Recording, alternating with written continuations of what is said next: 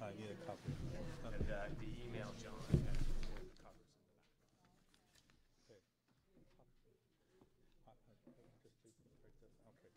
Tell you, That's different. Okay. I'll have it anyway. Okay.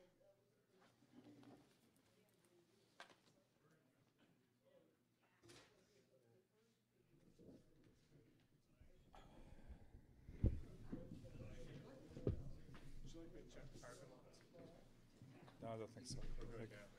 Okay. Good. Good afternoon, and I think we'll start. Uh, it seems that, uh, first of all, I should say that if anyone if anyone would like translation services, they are available. We have Mr. Bernard LaBelle back there, and I told Bernard, he's from Cove Head, that I hadn't seen him in a long time, but if I had seen him on a regular a basis, as I did for the better part of a year, about 25 years ago, we wouldn't even need him this afternoon. I used to have him come to my office to uh, teach me how to speak French, and the, one of the things I learned in that process was how talented he was, and how he would say things such as, "Well, just look at the word." You know, does it mean anything in either language? You know, Latin or French or English? But the thing that I did wrong was I had them come to my office, and I never got rid of the pressures of the office of thinking of what I'd just done or what I was going to do. But any event, uh, he's here, and if you would like to hear my remarks in French, then just go see him. And if you would like to make any remarks in French, then just give me a moment and I'll put on the receiver. I can read a French newspaper, but uh, I can only uh, understand someone's French if uh, it's very slow and I know the topic that we're dealing with. Um, I didn't know if we are going to make it today. It seems every time we're going to have a meeting in Wellington, Mother Nature, the elements. Uh, the last time uh, I drove up here and no power. I knew that before I left Charlottetown, but I thought it'd be fixed when I got here, and it kept getting worse and worse. The snow, and I think we had half a dozen people, and we had a nice little chat out there, and more people had left early, excuse me, and so forth.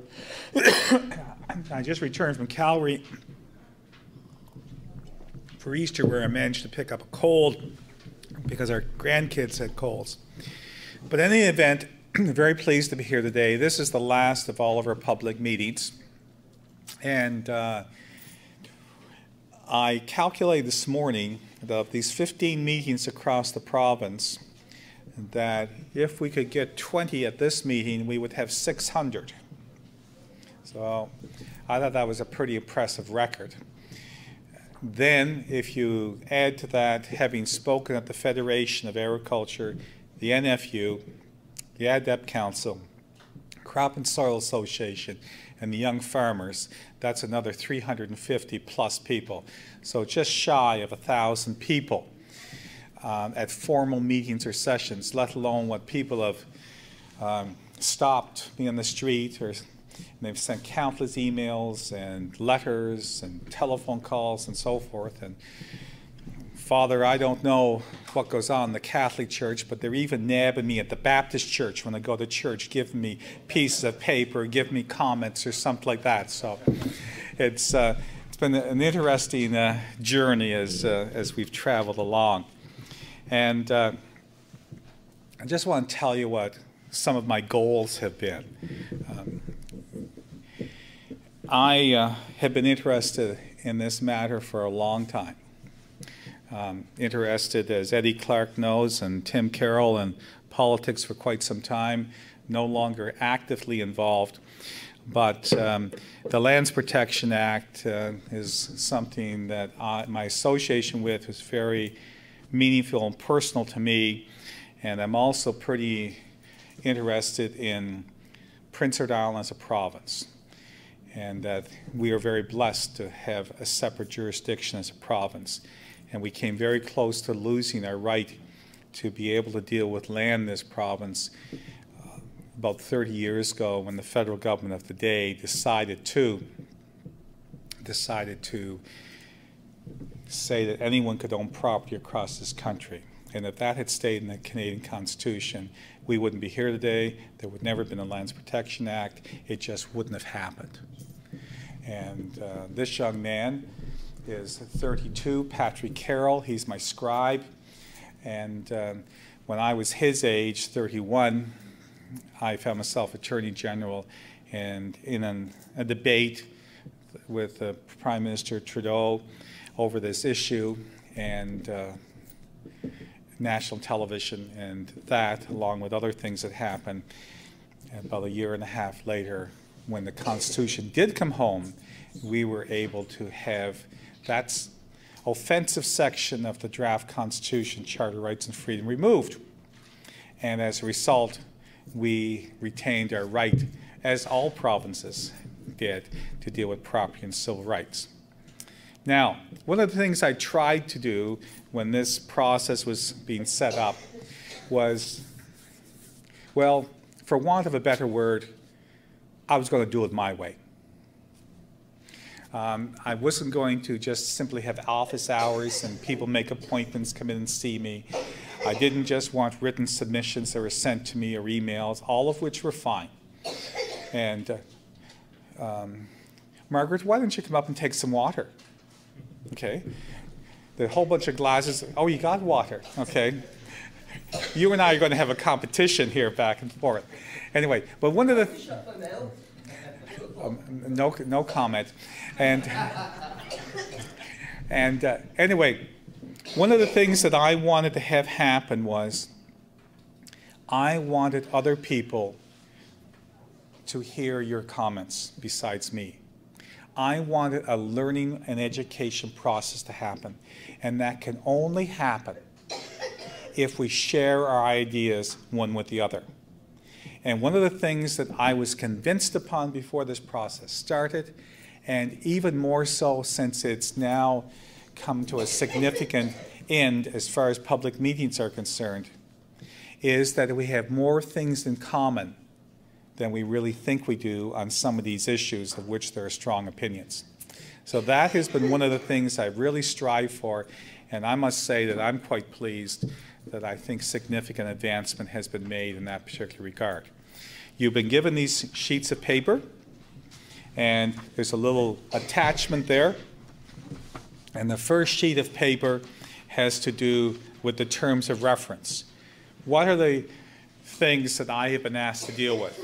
Well, right in the middle there, it says the adequacy of existing aggregate landholding limits given changes in agriculture, provincial land use and ownership trends, and rural communities. Two, options for reducing red tape and regulatory requirements, while ensuring that the Act can be effectively administered and enforced. Three, legislative concerns that have arisen involving such issues as land holding limits as they apply to utilities, application thresholds as they apply to multiple owners, and the information deeming requirements for nonprofit corporations. And four, any other matter the Commissioner deems appropriate to review and bring to the attention of Executive Council. Now, it's been established as a public inquiry, but I decided that in order to have this inquiry be effective, I want to hear from members of the public in as casual and informal setting as possible. And some of you have traveled the roads with me. You've elected to come to a lot of meetings. You know my style. It's reasonably casual, tell a number of stories, but usually with a larger purpose for a story. And one of the things that I really wanted to get across was for people to know what the purpose of the Lands Protection Act is. That's on page two. Okay? This Lands Protection Act, when it was passed in 1982, did not have this section in it. It was put in in 1998 and it says the purpose of this act is to provide for the regulation of property rights in Prince Edward Island, especially the amount of land that may be held by a person or corporation. This act has been enacted in the recognition that Prince Edward Island faces singular challenges with regard to property rights as a result of circum- several circumstances, including historical difficulties with absentee landowners and the consequent problems faced by the inhabitants of Prince Edward Island in governing their own affairs, both public and private.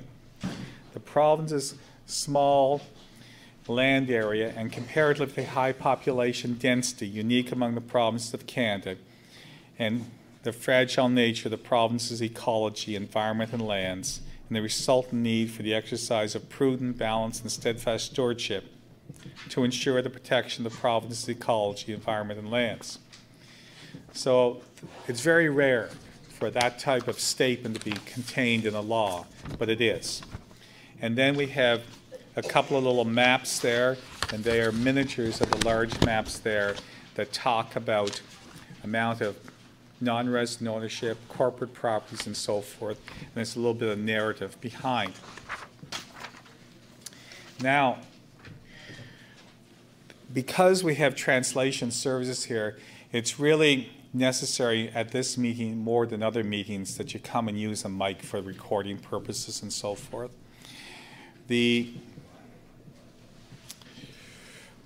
what, oh yes, the mics are not just recording for translation; it's also an amplification, and so that the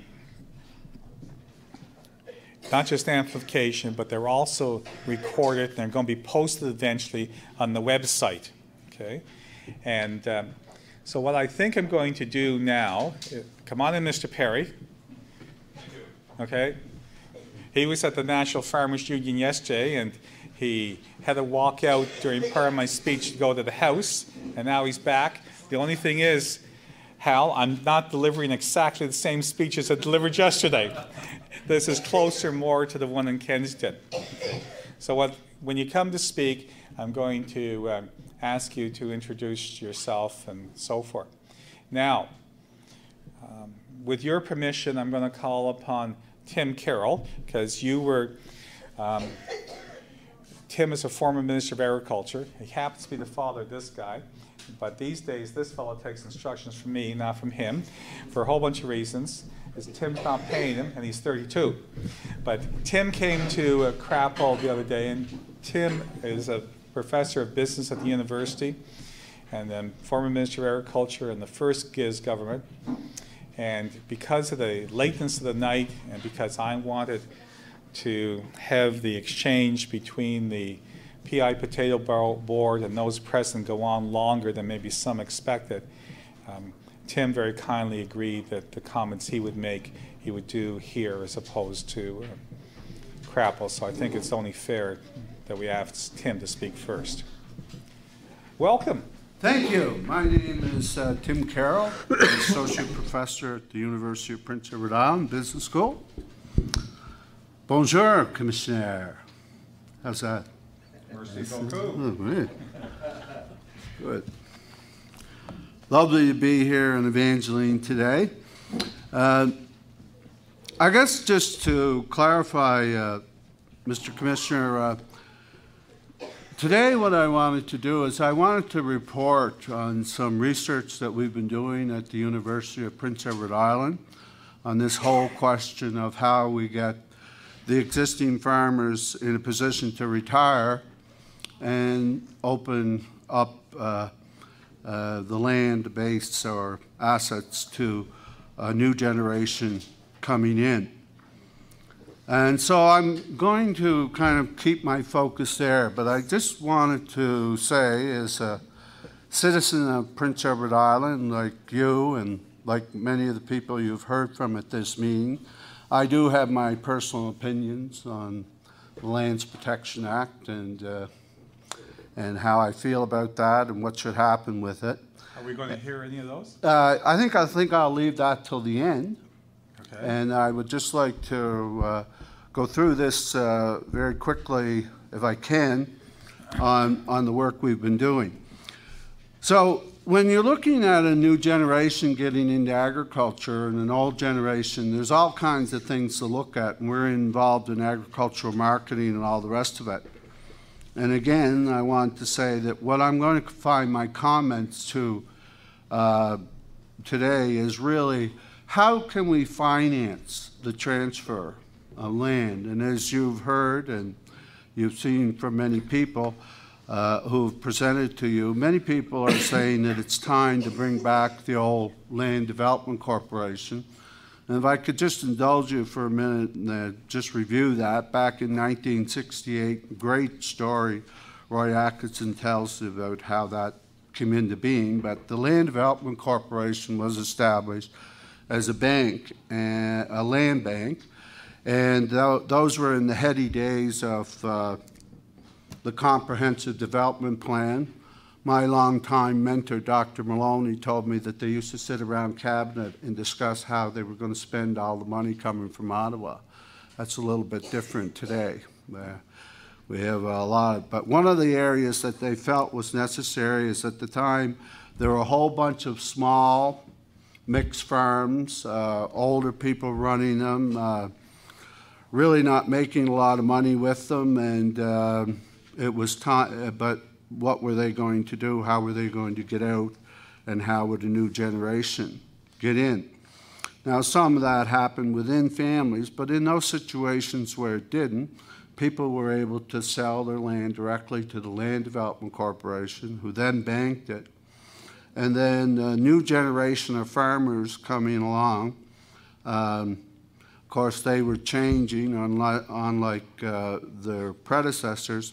They were going more to specialized agriculture, very modern, uh, and much larger than the farms had been. And the LDC allowed for that transition, and it went very smooth. And as one of your speakers said the other night, there would be very few farms in PEI that didn't take advantage of the Land Development Corporation. So, and I did have a student actually a few years ago, just at the time when they were destroying the records in the archive too, to go in and do some work and to look at the LDC, and I can comment on that. But generally, the bottom line was it was a tremendous success and actually didn't cost the government that much, but that's quite debatable. Um, so, at what happened then is that uh, most farms then were financed uh, with debt. In other words, uh, you went to your bank or the lending authority or whatever, you borrowed the money, you bought the land, and uh, regardless of what happens to commodity prices, the problem with debt is the bank wants an interest payment every month, regardless of whether it's a good year, bad year, or whatever. And uh, when we look at the research or the literature, um, I don't think this will come as a surprise to a lot of people, but land is almost always a profitable investment, particularly over a long period of time. However, it is almost always never a financially feasible investment, especially in agriculture. And the reasons for that is that margins are so low in agriculture and when you do these net present value calculations, it's just like if you buy a house and you try to sell it in five years or whatever, you're out money because you really haven't been paying anything towards it. And that's similar for a farmer. So for the first seven or eight years, depending on the assumptions you use, um, it's not a financially feasible investment. And this is one of the barriers, especially with the high land prices now, that prevents farmers from going into it. The alternative way to finance farms is what we call or use equity funding or money from outside investors. Now, if land has been such a good investment, why haven't we had outside investors coming in to the land business? Well, um, and in fact, a lot of people, that, that is changing very quickly. Land is becoming, or be, is attracting the attention of investors. And several of your speakers spoke of what they call land grabs, or uh, the term the academics are using it is the financialization of farmland. Or, um, as I say, and people are very concerned about that. And uh, I share that concern. There's no question about it. Land, it hasn't hit PEI. But if I could just share a little anecdote with you. Um, I visited my old stomping ground in Ontario when I managed the Ontario Vegetable Grower Marketing Board, and I was down in Kent and Essex County. Just very quickly, uh, Mr. Commissioner, Kent and Essex County is Class 1 land. So even when I was there in the 70s and 80s, it would have sold for about 3000 an acre. And I did notice, one, it was one of the reasons that I wanted to visit, that the land values in Kent and Essex had gone for, let's say, into uh, the year 2000, had risen up to about 5,000 to 6,000 an acre, which is uh, pretty high. They're growing a lot of high value commodities there seed corn, processing tomatoes, and that. And, uh, but in a very short period of time, from about 2005 to 2012, do you know what it is now, Commissioner? 14,000 to $15,000 an acre for Class 1 land. So I inquired as to what was driving this, and there's a lot of literature of this right across, but it was great to hear it firsthand. And one fellow I knew told me that he had a good sized operation. I was surprised at how big the operations had become. Like a big, I meant like they're about 1,200 acres. They don't have to rotate the land. The land is, uh, as far as they're concerned, too expensive to rotate, and I don't see a lot of rotation. But um, he had he was approached by a person from Toronto, a chap who had was very concerned with the stock market and pulled his $25 million out of the stock market and wanted to put it into agricultural land. And he approached this farmer and said, Well, you know, uh, I'll offer you, and that it worked out to be about 14,800 an acre or something he was offering him. Anyway, and he said, Well, you know, the son and I are still, the son's still interested in farming, soy, soybeans are good, and corn is good, and you know, I think we'll just stick with it. And the investor said, No problem. How about this? I give you the 25 million, I take the land, and you and your son can farm it as long as you like. That's the financialization of farmland. And that is a real concern, and there's antidotes around PEI. So, you know, one opinion I'll give you on the Lands Protection Act is I think it's giving us a false sense of security that the land is protected, when in fact it isn't protected as far as I'm concerned. And that's why I think we have to look at taxation and securities legislation and what have you. Now, this, it's ironic though, this same financialization, uh, Mr. Commissioner, is exactly what I'm going to propose today as a model for the Land Development Corporation. So just to be clear, sometimes when I'm speaking, I'm not always sure I'm clear. So what I'm saying is that financialization is very, is a real threat, but it's also an opportunity. This is not something for us to be afraid of, uh, Mr. Commissioner, and I know you will share this. Securities legislation, like land legislation, is totally within our control as a province. You know, I know we've ignored it, and every province is trying to get the federal government to take it over, but as it stands now, we can set all the rules on this financialization. If we're concerned by it, so it comes down to are we going to be stand here and be warmed by the fire, or are we going to take control of the fire and stoke it and control it ourselves? So if financialization is a threat, then I think it's something that we can address through securities legislation. But it's also a great opportunity to, uh, in terms of how we would finance a new land development corporation. So now, in the absence of charts, and not trying to sound like a professor, I'm going to go through the components of this model, uh, Mr. Commissioner, and uh, um, and then we could, and then you can ask questions or discuss whatever. But basically, what I'm suggesting is that a land trust, an income land trust, be established. That land trust would have, would be a partnership made up of a general partner and limited partners. Now, the general partner, the role of the general partner, if there's such a thing as an owner, and it's not really, or, or this income trust is really a stack of papers in a lawyer's office, and that essentially is the owner. But there has to be somebody to take the liability.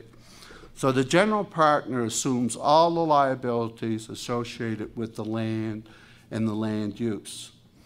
And for, just think of this for a moment. I'm proposing that the new Land Development Corporation would be that general partner.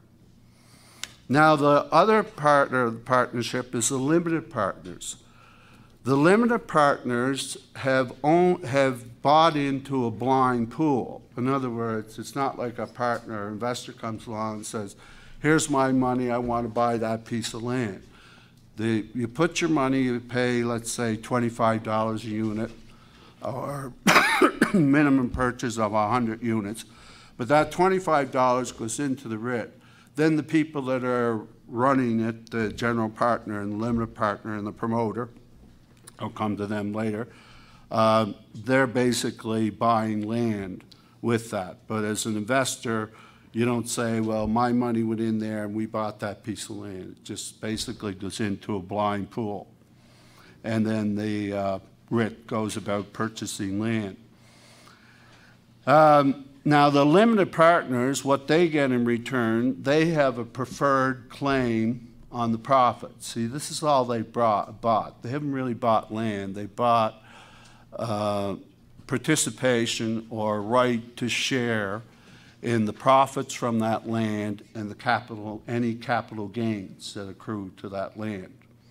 And so the limited partners are, uh, and we're doing research at UPEI just to determine what that rate of return would be, what the capital gains will be. We're uh, CanSim now, we can access all kinds of data, use all kinds of assumptions. You get me more research money, Mr. Commissioner, I can run more assumptions and more scenarios. I think you know the Treasury people better than I do. Yeah, well, Mahendra, my research assistant's working hard. I need to get another guy, so. Anyway, we, uh, so Maybe- that's may- Maybe you can get it raised in So now we've got the money, now, now we've got the money in, the REIT's been established. One of the reasons that equity funding hasn't gone into agriculture is that there's no investor is going to go through the task of due diligence. Is this farmer any good? Is this farm, you know, and are the operations right? So it's impractical for them to be doing due diligence. The also, the reason, another reason investors won't buy into some agricultural things is that buying into one farm is a, is a risky venture. So who is going to be running these farms? Well, we enter a new element into island agriculture, and I call it the farm management company. Now, the farm management company, I guess the best way to describe them is they're a relationship manager. They've signed a contract with the partnership. They've signed a contract with the general partner and the limited partner to manage this land on behalf of the partners, to assume, to, you know, to make a profit. Now, they're going to be looking for 10 to 15 percent of the gross farm income from all these farms. That's just a quick, quick survey I did of Nor- North America, but that looks like what they would take out. But they manage the relationship between the owners of the land and the people that are actually going to be farming the land. The other thing that the manager does is that they go out and they contract with agricultural entrepreneurs, and I'll talk about them later.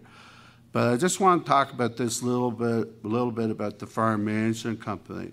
Do you remember, uh, Mr. Commissioner, many people talking about the regulatory burden of environmental plans, health and safety issues, so on and so forth?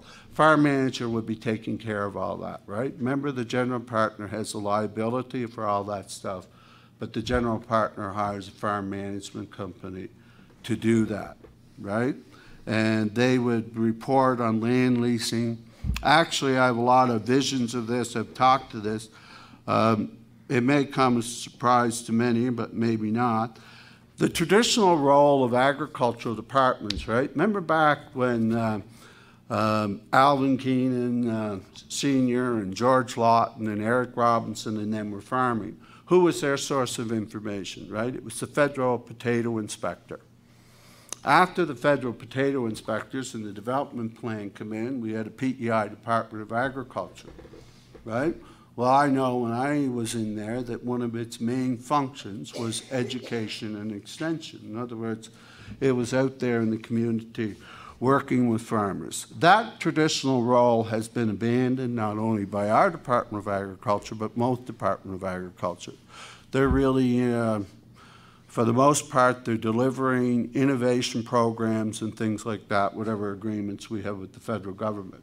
So that traditional role has been lost, right? So how are we going to get a new generation in if there's no extension, nobody really to work with? And that's where these farm management companies and some other things that we're playing at UPEI would fulfill, or I could see that they could fulfill this function. Okay? Um, now, the uh, people that actually farm the land, so the management company then, they're going to be involved in a whole bunch of things. And what one of the ones that I've looked at Generally, what they will do, it'll just depend on who they're dealing with. Let's say they're talking about um, a farmer that's a few years from retirement, but he's experienced and all the rest of it, but wanted to sell his farmland, but wants to continue farming. Well, they might go into another limited partnership with him, right? In other words, we'll uh, you farm the land and we'll uh, share the profits or whatever on some other one. Other situations, they'll rent or lease, right? The agricultural entrepreneur, right, will rent or lease the land or what have you.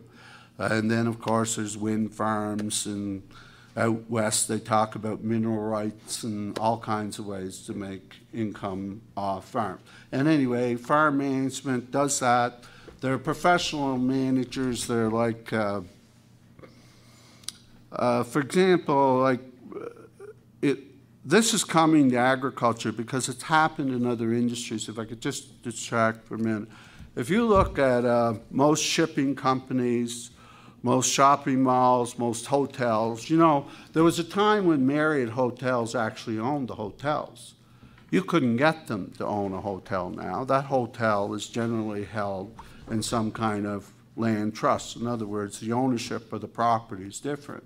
Marriott, Delta, all these people, they make their money from managing the properties. So there's wealth in both ends, one from the ownership of the property, the other from managing it.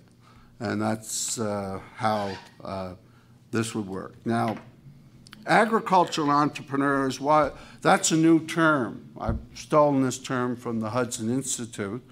It's not, a farmer is, uh, if you think of a farmer traditionally, like like if there's been one consistent change over the last 150 years in agriculture, it's the fact that agriculture has gone from being farms and farmers to businesses and entrepreneurs. You know, farming is a business. There was a time when you could farm with very little money.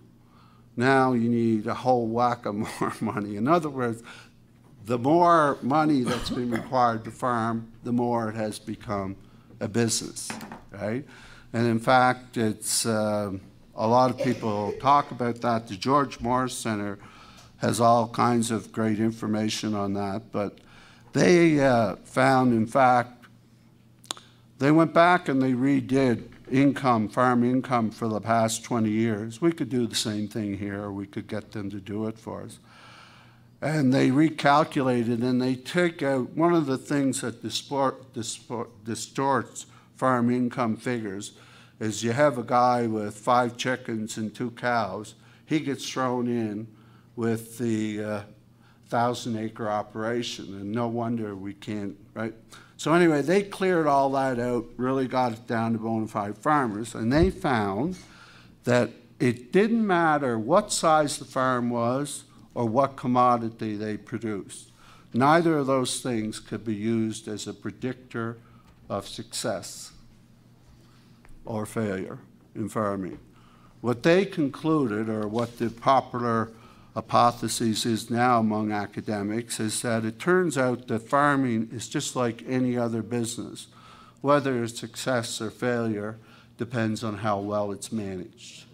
And that's why I think these farm management companies are a big thing. And that's why agricultural entrepreneurs, and I've talked to lots of students of mine, some who are interested in farming, but most people feel that they can't even think of it. And when the Hudson Institute did a survey, excuse me for just a second, in the United States, when they did a uh, survey in the United States, they found that the average entrepreneur invests approximately $50,000 getting into business. The average farmer invests 500,000 to get started into farming. Well, as long as it stays like that, right? Well, as I say to my students, the last thing I need you guys to do is go out of here, start another restaurant or bar in Charlottetown. Why don't some of you go into agriculture? Well, if they go into a, the restaurant or bar business, they don't buy anything. They lease the building, and especially like in bigger cities, I don't think you can in Charlottetown, but if you're in the restaurant business, you can even rent the tablecloths and the napkins and all the rest of it. And that's and so they make their money out of managing the business. Right? Well, I'm saying that this same thing needs to come in agriculture. I was talking to a young lady, and actually her boyfriend, her parents are, his parents are fairly big uh, uh, beef and potato farmers. Her parents are have about 300 head of dairy cattle. Well, they're in business school, so they know that the chances of them purchasing these farms, it's just not even in the cards. Right? And so when I explained to this, well, how would you like access to that farm without having to purchase it? Fantastic. They said, you take care of the damn barn?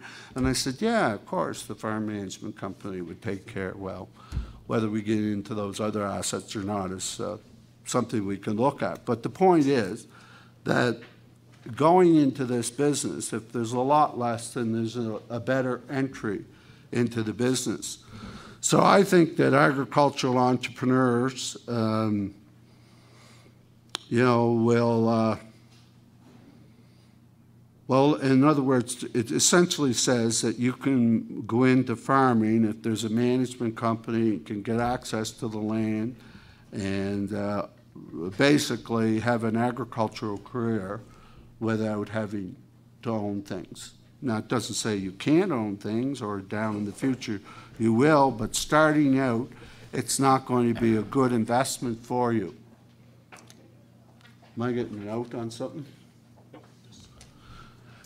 And uh, We're just getting, we know you're wrap- wrapping up, Tim, so we're just. So, yeah, and I just wanted to point out, so the agricultural entrepreneur makes some money. There's some other people here that want some money too. There will be uh, agents who will sell these securities, like BMO and the banks and that. They want about five and a half percent. So let's say I was going to do a 3,000 acre REIT. Um, then I would say $10 million, so I would have to pay about $550,000 to have those sold, right? Also, there's a promoter, somebody that's promoting this whole thing, putting the deal together. They're going to be looking for about 2% of the net asset value on an annualized basis, and so on and so forth. But the point is, we've removed the requirement now for farmers to go into debt. They can get involved with a farm management company, depending on what stage they are in their development as a farmer. And it's also getting easier to transfer farms. The Hudson Institute talks about this. You know, there was a time when you were going into farming when you actually had to know how to plow a field, for example, or whatever. Well, um, as one uh, older farmer explained to me, they had bought a new tractor. He jumped in the tractor, stuck in the driveway, and he didn't even have a clue how to start it. But he says, he's, so he got the hired guy to do it. But when he got it started and all the rest of it, when you go out into the field, that thing is going to plow and it's not going to deviate one quarter of an inch off the drill. And it's going to keep it level and all the things, all the things a skilled plower had to do. Remember when they used to maintain the roads and they used to have those maintainers come? There used to be people that were good at that and people who were poor at it. Now you don't have to worry about it. A computer does it all. It was the same thing in agriculture. That's why agricultural productivity increases so rapidly. I, I think you represented an urban seat, didn't you? Yes, I do. Yeah, well, there's a big difference when you represent a rural seat. The point is, uh, so that's essentially the plan, uh, and that uh, was the idea that uh, we're developing at UPEI. We're doing a lot of research because, uh, and once we get this done, we're going to publish it. And um, and I've written uh, probably about a four-page or five-page document to give to you Excellent. which I will be sending to you on this particular point. So I just wanted to see if there were any questions, and after that, I'll go into my views on the Lands Protection Act, if you'd like. Well, I think what we're going to do. um, Sure. If you, um, anybody have any questions for Tim on what he, yes? I'd like to know this scenario that you're describing, Yes. how does that differ from the absentee landlords we had 150 years ago? Well, uh, the, the one thing is that I'm suggesting that the government or the Land Development Corporation be the general partner. And, um, yeah, so they would, initially, I would see them being the, the people to start this. Down the road in the future, uh, once it became too big for them and they wanted to have more uh, others involved in it, then they would do it that way. But, yeah, because farmers don't own the land, is that what you're saying? Yes. Yeah. Well, as long as it's owned and protected on PEI by uh, something like the Land Development Corporation, and I think, and right now, that's one of my, one of the reasons that I thought this was necessary to develop, because right now, there's really nothing to stop all of our, I just was, there was a 300 acre farm east of Charlottetown that I knew a guy had been selling for trying to sell for two or three years. He finally did sell it. And an American bought it. Two weeks later, my friend Ronnie McKinley told me uh, in Buster Service Station, there was a big ad on the bulletin board in Buster Service Station. This American was looking to hire somebody to run that farm and grow some soybeans for him. Now, is that the kind of economy one we want on Prince Edward Island? And I don't think that that is. Okay. Well, I think we're going to do, um, any more questions for Tim? I think what we'll do is we're going to excuse you for now, Tim. Sure. And then we're going to look a little bit of a couple of films here. They're very brief. And then we'll provide the opportunity for anyone else to make some comments. And then we know you're available, and we can hear your comments on the Land Protection Act a little later. Would that be all right, folks? Okay with you? Yeah, uh, could I just uh, make one request here? I'm at the University of Prince Edward Island. If any of you have, and I've presented this idea before, I just wanted to make an invitation. If any of you have any comments, suggestions, ideas on this, uh, we would appreciate uh, your input as well. As I say, we'll be going ahead with it one way or the other uh, to research it, and whether people want to pick up on it or not, it's not our, under our control. Thank you. Okay, Th- thanks very much, Tim. Appreciate that. Hey, And um, what we're going to look at now, th- this is a flyover, and we've used this in the last uh, few sessions. It wasn't available for some of the earlier sessions, but what it does is going to show the non-resident ownership along the coastline in two areas. It's Eastern Kings and West Prince, right? And what you need to do is, we'll be starting at the very east, flying over the coast, And every time you see a rosy red property, that means the land is owned by non-resident. Whether it's a non-resident individual or a corporate, it has to do with the mailing address for the property bills. So, and the, one of the um, two heaviest areas in the province for that are the two film clips you're going to see today. Patrick? Great. All right, so the first one we'll run with there, you can hear me? Okay. It'll be Eastern PEI, and most people know this area, and you're running along the far tip in the east and moving west. Uh, most people are well aware of this area, and you'll notice uh, when you're getting through it, you'll notice some larger parcels in this one. And when we go up to the western side, you'll see more subdivision activity, more small parcels that have been divided for more of an urban or cottage use.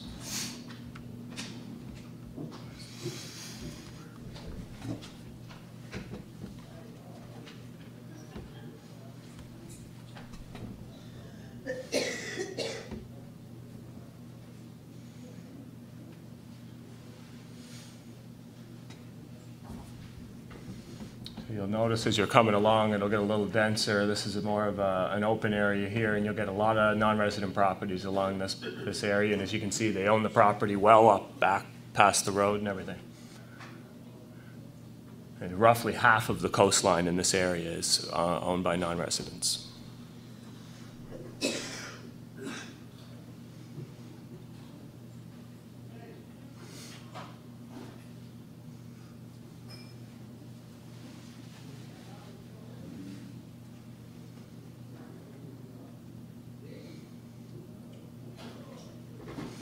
You'll get towards the end there and you'll start to come up on Greenwich and you'll notice there is actually a fairly large subdivision right in the park there on the property and it's one of the few in, in, in Canada.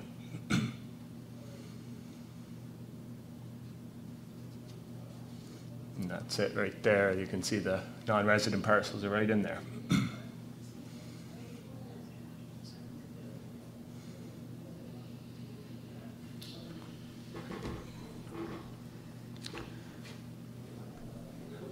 So this will go from north to south.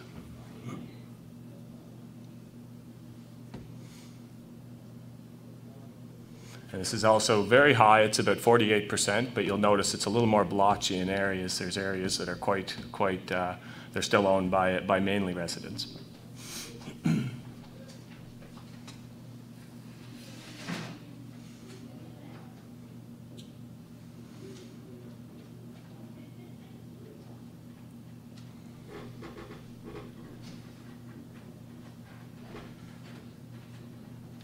Other thing you'll notice is they're, although they're urban style subdivisions and they look to be something that would fit in a city, uh, most of them are not connected in any way, so you'll have to go back up one road and back the other to get into them.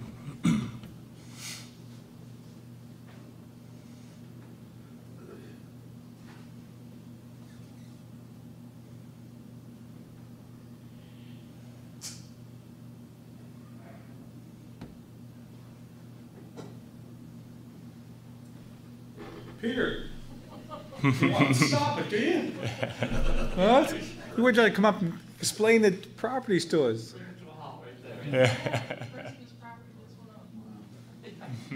Would you like to see that last one again, folks? Would you like to see it again? Okay, we'll, we'll run the last one again.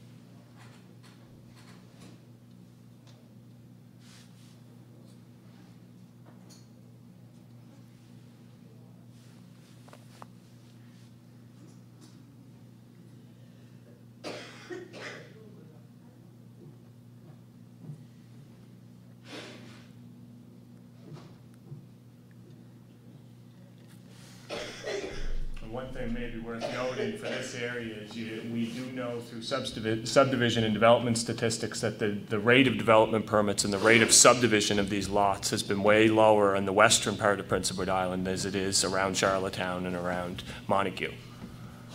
So there's less subdivision activity happening here. It's more land just sitting. What's it look like on the south side? That's the north side, you're saying? Yeah, yeah. Uh, to my knowledge, uh, there's uh, there are not a lot of subdivisions on the on the other side, but that there there are some that would be about 30 and 20 years old. Uh, but there's not a lot of subdivi- subdivision activity. There's hardly any development permit activity, and uh, and the non-residency is lower, quite a bit lower than you'd see on that side. Yeah. Okay, um, thank you. And um, I know some of you and some of you I don't know, and so when you speak, it just is helpful if you indicate your name. One of the things that's been a little surprising about these hearings is that we haven't had very much discussion about what we just looked at, the non-resident ownership amount of land. It has centered more on land limits, some on red tape, and so forth, but there hasn't been a lot of discussion about the level of non-resident ownership as we, as I've traveled the province. Now, the meeting, to a large extent, is me to hear from you, and so um, immaterial what Tim said, Tim Carroll, or what you've just seen here. Um, and I know one or two of you may have to leave on the early side. What would you um, like to tell me? Father.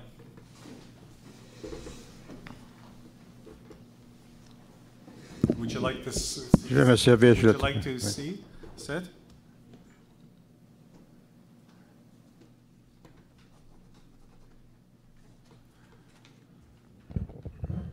J'apprécie l'opportunité de pouvoir parler en français dans une province majoritairement, euh, anglophone. We're just going to take a moment, and uh. Bernard, so if anyone else would like uh, a recording, they can get it from you, correct? They can listen to,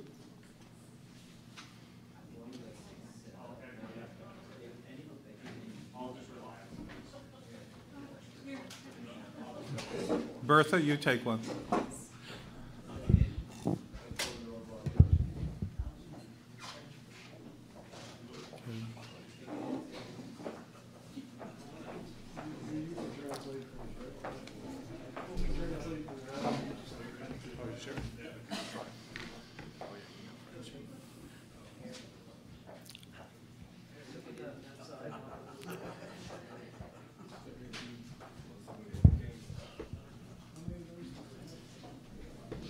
Have any left? Okay.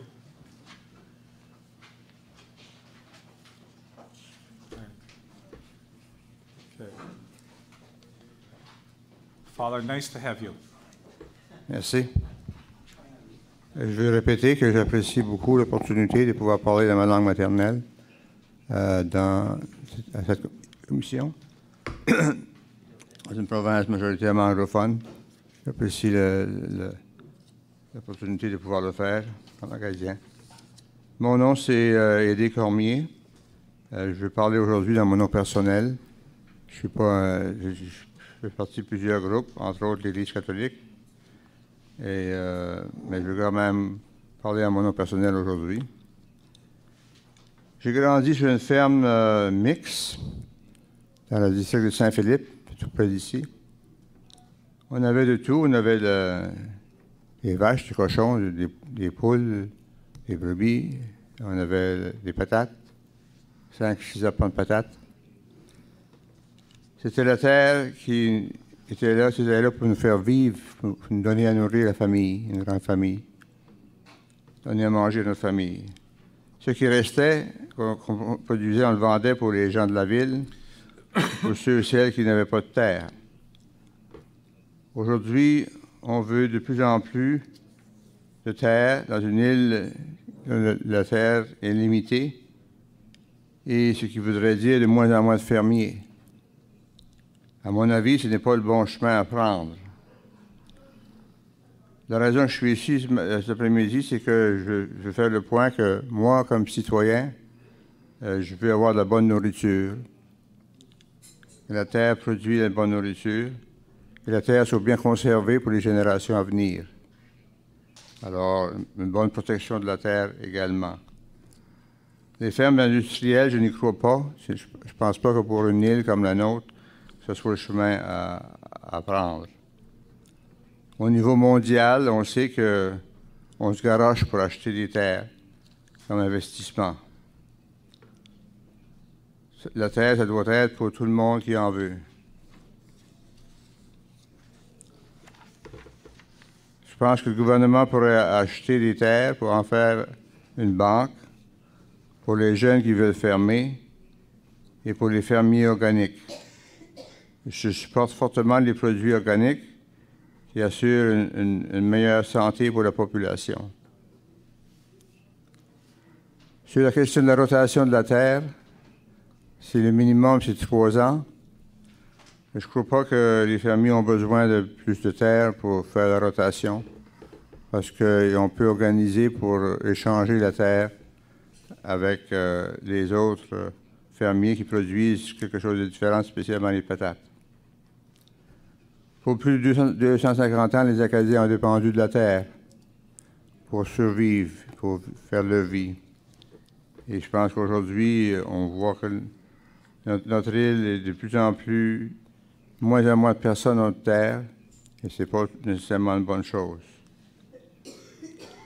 J'ai beaucoup d'admiration pour les fermiers d'aujourd'hui qui continuent de produire de la nourriture, alors que financièrement, c'est plutôt les compagnies d'engrais, des trac- des tracteurs, des distributeurs de nourriture euh, qui en profitent. J'ai une question pour euh, l'information personnelle sur la carte des corporations. Je vois que 33% un tiers de la terre de l'île est, est dans les mains des corporations. Est-ce que les fermiers euh, peuvent euh, former des corporations dans leur famille? Est-ce que, quelqu'un peut me répondre ça? Yes. C'est possible? Yes. Absolutely, Father. Alors, en fait, les fermiers qui le veulent peuvent avoir jusqu'à 3 000 acres, de- de- 3 000 acres de terre. C'est c'est ça. Provided, provided that they have three equal shareholders, Okay. either their family or their friends. Merci pour votre attention. Okay, no, thank you, sir. Thank you. Appreciate that.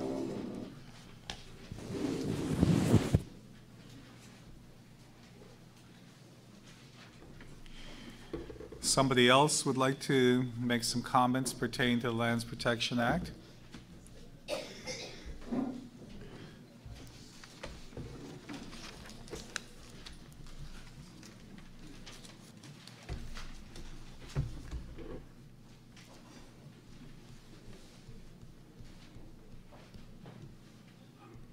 Would this be a good time to express my opinion? Sure, Tim.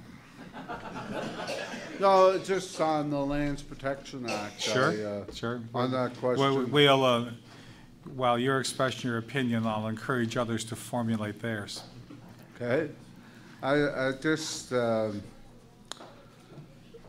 I guess I, I don't see any, uh, it was very educational for me to attend the last couple of meetings when the Federation and the Potato Board and that.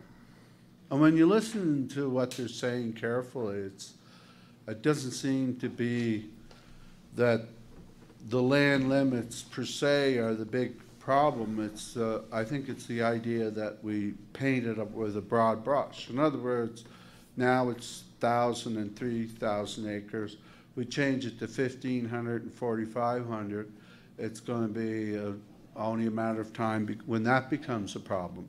The, the idea being that the broad brush never works, especially this, and as a lawyer, you'd be much more familiar with the complications than I am. These intergenerational transfers can get, you know, there's, uh, I don't think any land limit that's really going to resolve all potential problems there. And I think there really has to be, like, when I hear it, there just has to be more flexibility. And on the issue that I do have a little bit of knowledge in terms of economies of scale, The reason you haven't heard any particular evidence on economies of scale is that you can't, it, it, it's the same way. It's one of those tools in business that doesn't apply as an industry standard. Everybody thinks that mistakenly that economy scale is a solution in every situation, particularly in agriculture, and it's not. Agriculture is much too diverse. It's uh, and it's the same with any other business. Sometimes economies of scale is the issue and has to be addressed. Sometimes it's economies of scope, diversity in the business. Sometimes it's vertical integration, sometimes it's backward integration, so on and so forth. So I don't really think that economies of scale is a, a really good argument for increasing the land limits. From what I've heard, it seems that everybody just wants to reduce the red tape and keep the act and just make it a little bit easier to work with. I don't see why in PEI we couldn't do something like that.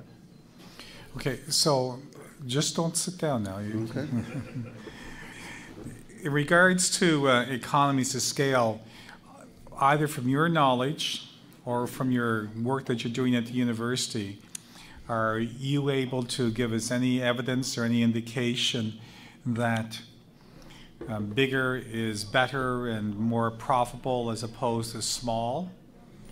Well, I'll tell you what you do. If you could give me a particular farm and give me their books and stuff like that and record of operations, we could do an analysis and tell you if there's an economies of scale issue. And that's really what it comes down to. There's ways to analyze this, but to give you broad evidence to say that economies of scale is always the answer, no. No such thing exists, as far as I know. Okay. There Now- is that George Morris information, which doesn't really come at it directly, but they did indicate, like if some people say to you that, you know, if the farm was bigger, I would survive, well, that really doesn't hold up to evidence. It's usually not the size or the commodity that you're involved with that is the problem. It's usually another problem. Anyone like to ask Tim a question or make a comment in relation to what he has just said? I guess you're back to your chair for now, Tim. Thank you. Okay. Other p- individuals, comments? Peter, you must have a comment later. later. Okay, I have to pick up some information from these other fine folks first. all right. Okay, we, this gentleman is coming forward. Yes? Yes, my name is Ray Arsenault. Yes, right. Where do you live? I live in St. Nicholas, not too far away from here.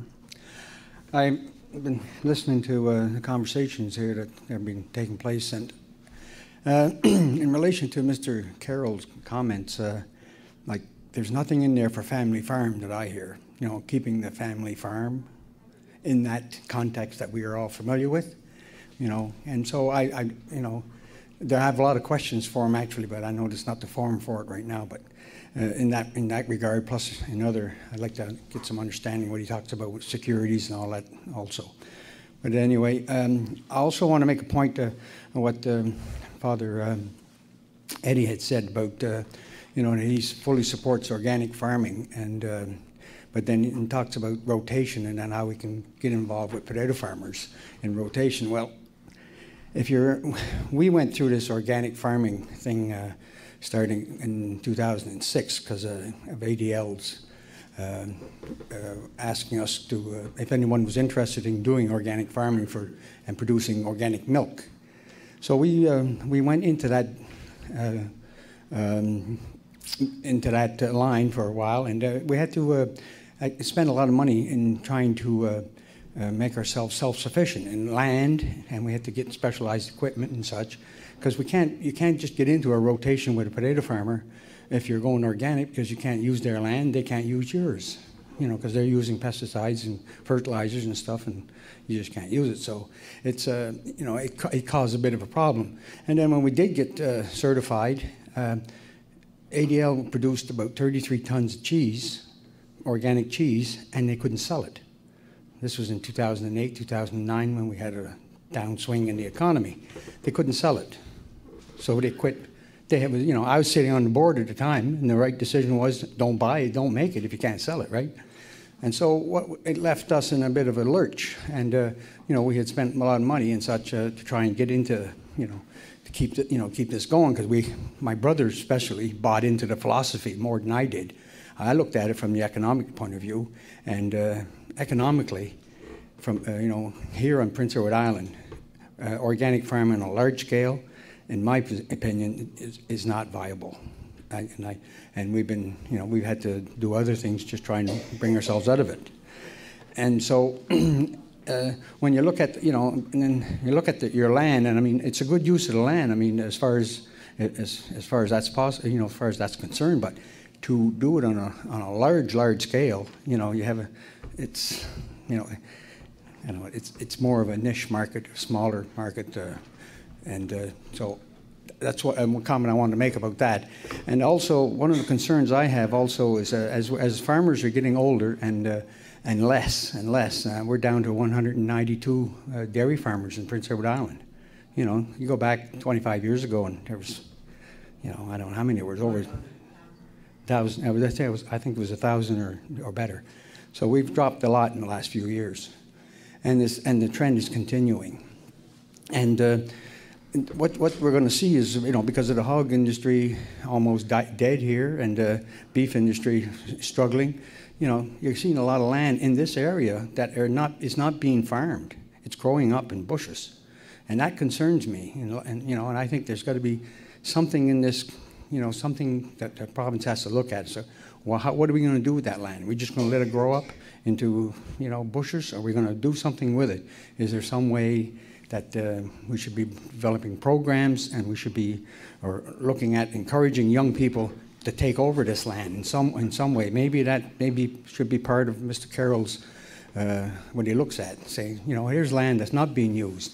You know, what's the value of it, and what can we do with, them, with it to make it valuable, or bring it back to production. So I guess those those are the comments that I would have to make right at the moment. Thank you. Okay, thank you. The uh, matter of succession is um, complicated and it's becoming more troublesome all the time. It's one of the issues that is apparent now as we talk about the Lands Protection Act, and it didn't seem to be at the forefront of any discussion 30 years ago when the statute was implemented. Uh, I think Tim makes a, a good point that there needs to be some discretion and flexibility in that area. There has to be. And um, life, sorry, Tim. Yeah, if I could just talk about that, you know, I agree, the family farm is dying, and that's sad to see. But, uh, you know, as Alvin Keenan told me once, there used to be an old joke around the farm that you would say to your kids, if you don't smarten up, I'll leave you the farm. And apparently, most of them did uh, decide to smarten up and uh, got educated and left. And that's really was killed. You know, I, in the course of our research, if I could just share. Was that Alvin Sr.? Yeah, no, I was Alvin Jr. Oh, was it? Okay. Uh, but as I say, I. Uh, I just wanted to share with you, Commissioner, which I think uh, these bits and pieces come up from my research, but when we were looking at this intergenerational transfer in some of the papers I read from the United States and in Canada, did you know that they predict now that the new generation of farmers is more likely to come from an urban background than a rural background? And in fact, the rural ones seem to be less right? And one of my students said, and they said, Yeah, that's right, Tim, you're always talking about small business succession. It's the same with farms. Dad sent me out there picking rocks, and then when he went to the bank or the marketing board meeting, I was left home. He said, I had no idea how to take over the farm, or, you know what I mean? Like, there are things like that. The other thing is, in the United States, uh, it's incredible to see, but we see this other places of the world it's very likely that these new farmers, many more of them will be women. Than there have been in the past. In other words, not saying that more will be women, but there'll be more women going into farming than there is. And then the other source, uh, Mr. Commissioner, has uh, that's identified, and I think this has real potential for PEI because it really is part of our past too, is a lot of farmers come from immigration. People will immigrate to Canada to right? And then when you talk to students in that from Asia about the idea that there is potential to actually get access to land and farm the land, this is a incredible. Uh, I did a course in agricultural marketing. I was only expecting 10 or 12 people in it. There was 32, and I had uh, nine countries represented in that class. So there's lots of interest. Thanks, Tim. Uh, Ray, I was just going to say earlier that um, in the last year or two, I've become aware, and I had occasion when I was speaking with at the Young Farmers Association, that uh, there's a young gentleman there in his mid 20s from Holland, and he took his undergraduate degree. His thesis was in, not here, in organic farming in Prince Edward Island and the family over in Holland sold their property because it was becoming uh, so close to an urban area and the municipality wanted it for green space. And so the family sold their assets and have moved to a community east of Charlottetown, and they are now in the initial stages of taking the land to be certified and building buildings and organic and they are going to be a major organic farmer, probably one of the largest, I would think, in PI. But the situation was that they come, of course, with the knowledge already and significant capital from. Probably sales for their. Well, and, and they well could have, and they well could have in that regard. I didn't have a chance to uh, look at today, but I, I did find interesting um, what Tim talked about women is that uh, there's a feature story in today's Guardian about two women in organic farming. It goes on for an entire page plus. Okay. Anybody else would like to, to mention some comments?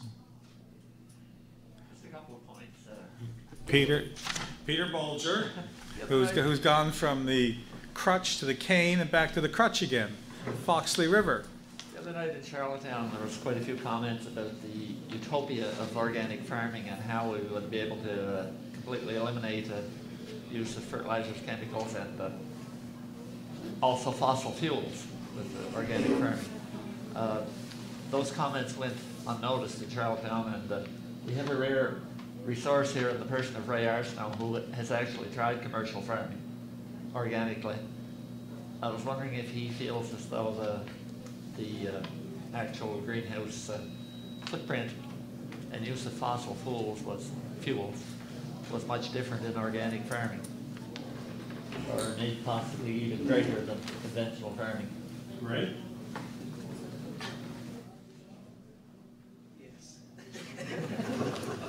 It's just something that it's a whole policy to take there, I think, and I think Ray can confirm that it's a policy. Well, certainly. Speak up, can you speak up a little bit? Yeah, thanks, Peter. Uh, I, I'm, I'm assuming you're talking about, you know, did we use less fuel? One thing, right? Well, I, I remember being at your place one day, you were using a very, very heavy cultivator to achieve what probably could have done with a, a ten dollar an acre shot a Roundup. Yeah.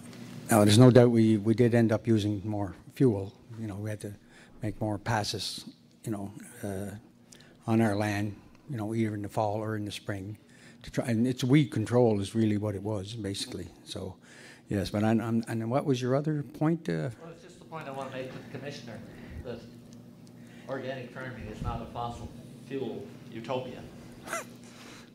And, and you are the, uh, one of the few people that, that has lived that. that's right, thanks. Uh, it's okay for somebody in town to, to say, you know, that, that we can do orga- organic farming and save all this fuel and, uh,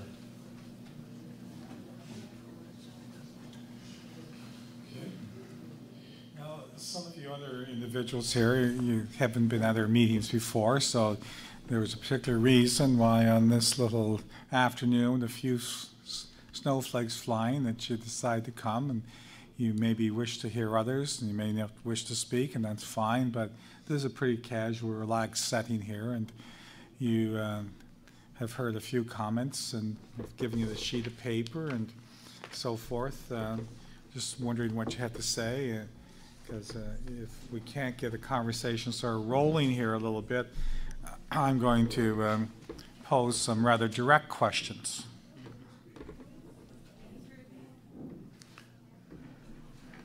Now, the back row there is pretty silent, you know, like, I learned.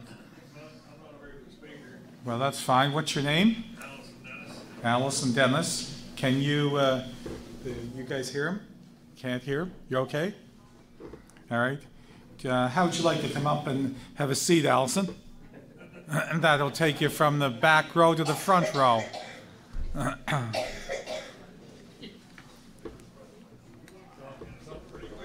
Yeah. Allison, where do you live? Oh, yes. Always been intrigued by that name. Seems like a lovely name. Apples, uh, Arlington apples. You know, I was in England one time and I came across this little community. and The name was Arlington. I said to my wife, "Let's stop the car," and we just walked around. Is it named after the community in England or elsewhere? I'm not that old, I don't know. No, I, I know you're not, but I just thought you, I thought you might know some of the history of it, eh? Yeah, I can tell you're pretty shy with the mic. And you got some paper there. You making notes or?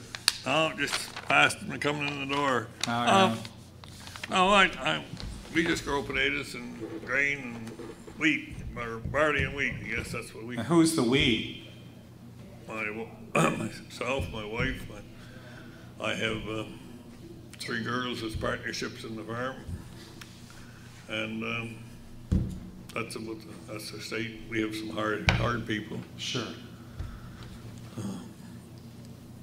But that's, that's basically what we, then we grow some, we chop, cut some hay and leave it for, and, uh, but all we, our, our big crop is potatoes, or was. We had, uh, something happened to them this year, we, we lost them, just about half of them to, Oh, my. they just broke down and right after they come out of the ground and, um,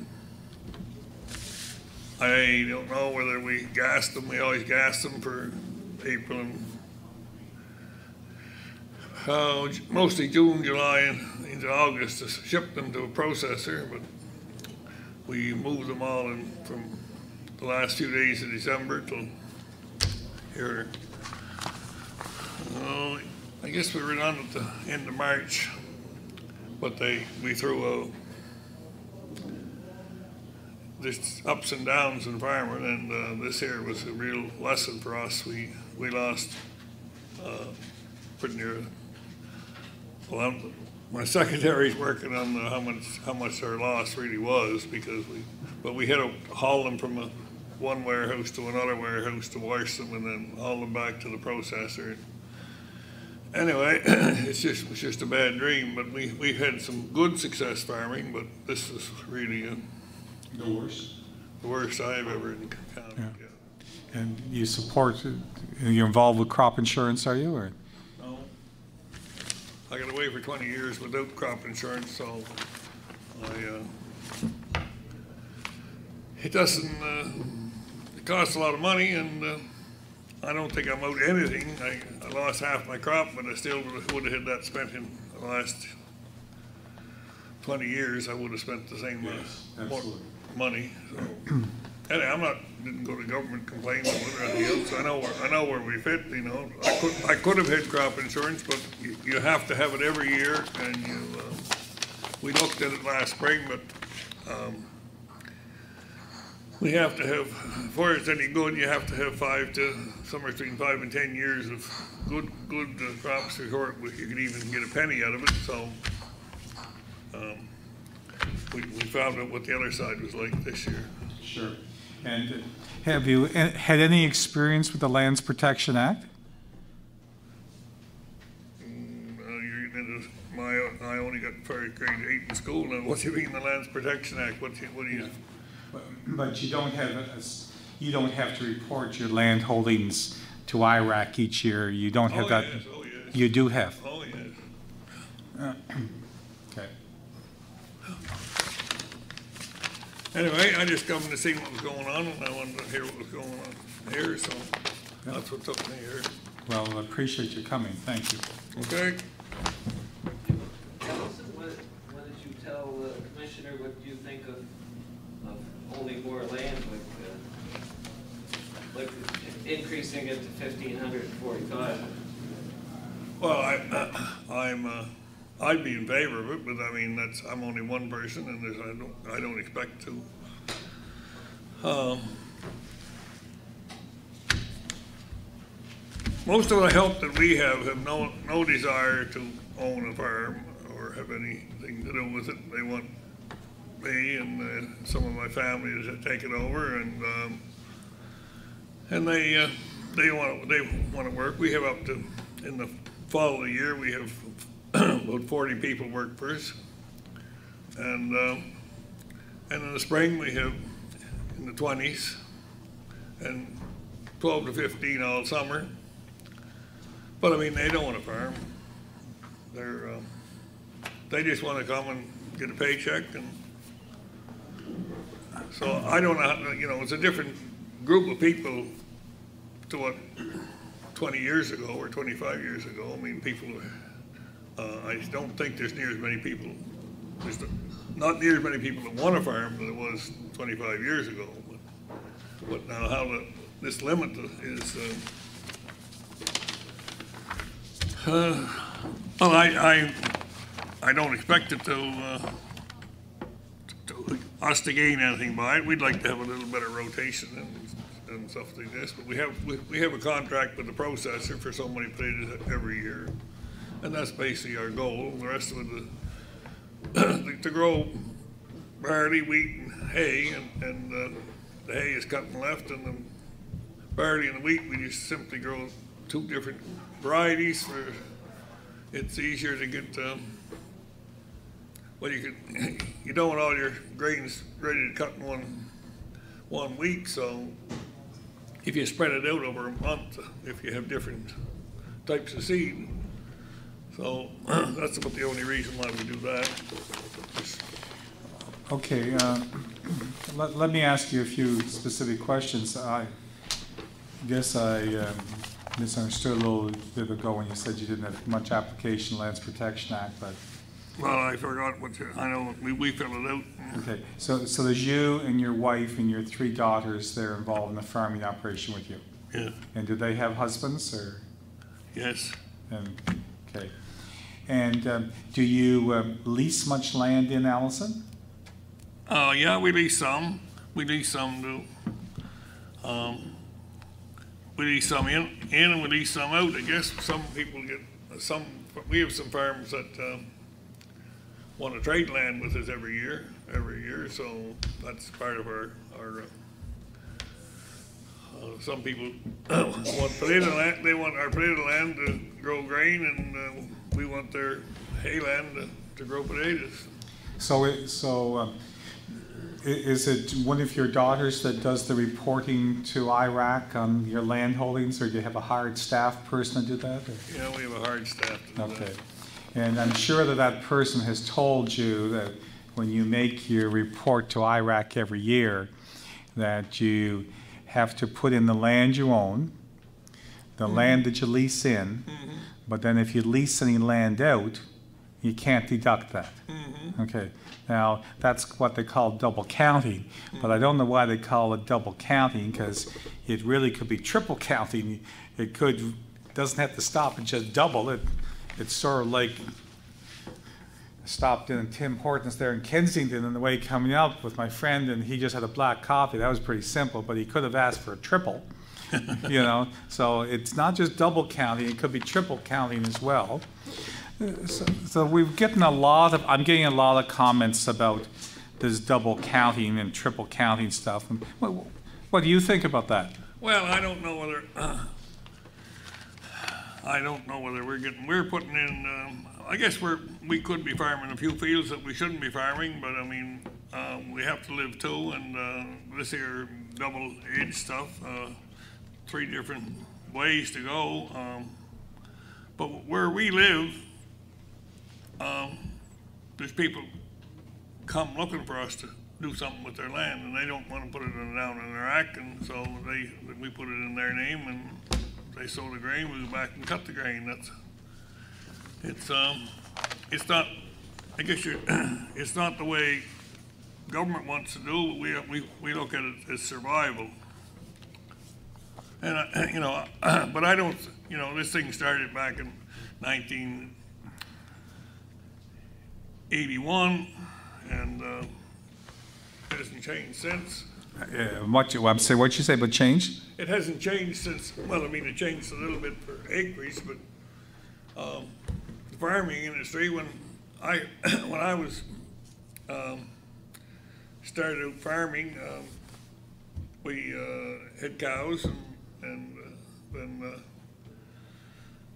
I didn't like that, so I, we shifted over to, I had a truck, we had a small farm, We had a truck, and then I, we got a job hauling milk, canned milk, and in little area around our area and through Grand River and through Lot sixteen to Summerside, we had sixty-six stops. So, I mean, everything has changed, I guess I'm, I'm- huh? You know, so I mean, the whole, I, I, I would like to see the change, but I don't know how it's gonna come, because I think, there's- uh, I don't think the government's in favor of doing much to help agriculture.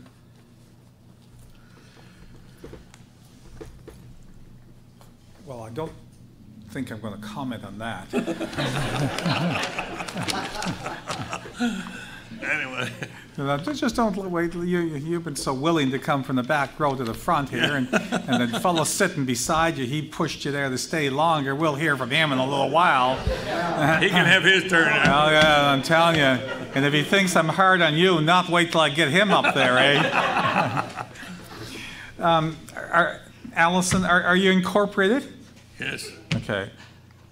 Um, have you uh, tried to, uh, have you wanted to sell any of your land or make any changes that have required that you've had to get through what we call the de-identification process? Have you had any of those types of experiences?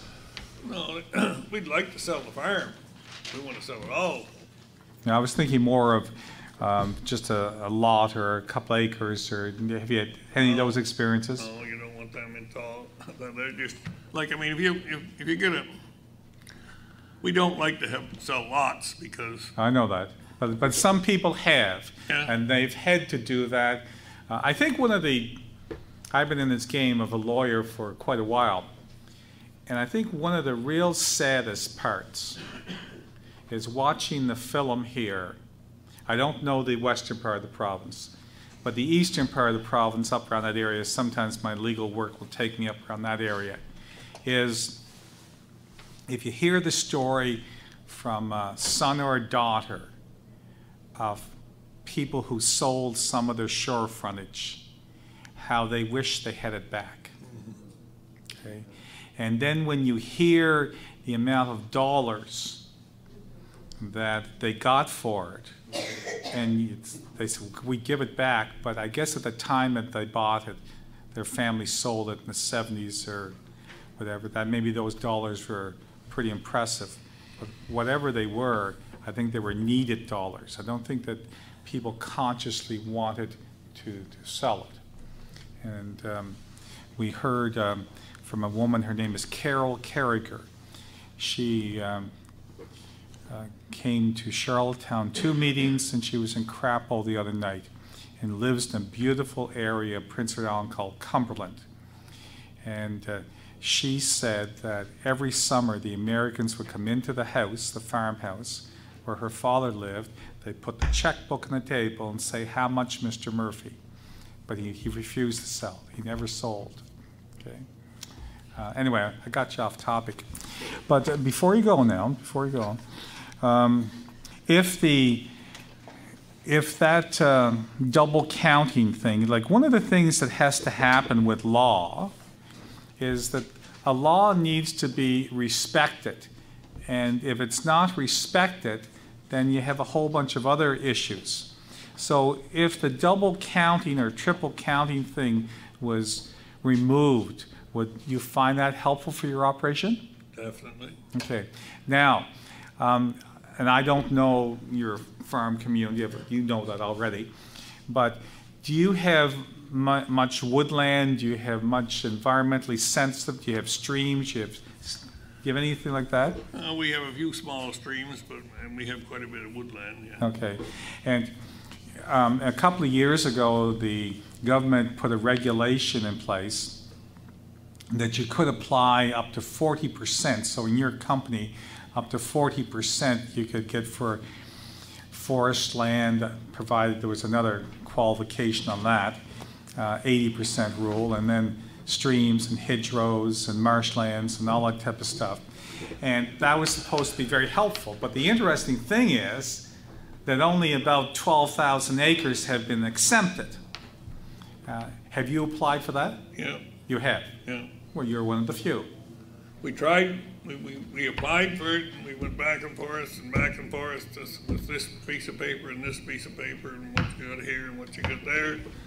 Last, but spring come, we started putting the crop in, and they're up in the shelf there somewhere, and, uh, I mean, just, somebody that's got the job of talking to, getting all, this information, I don't think they have to farm, you know?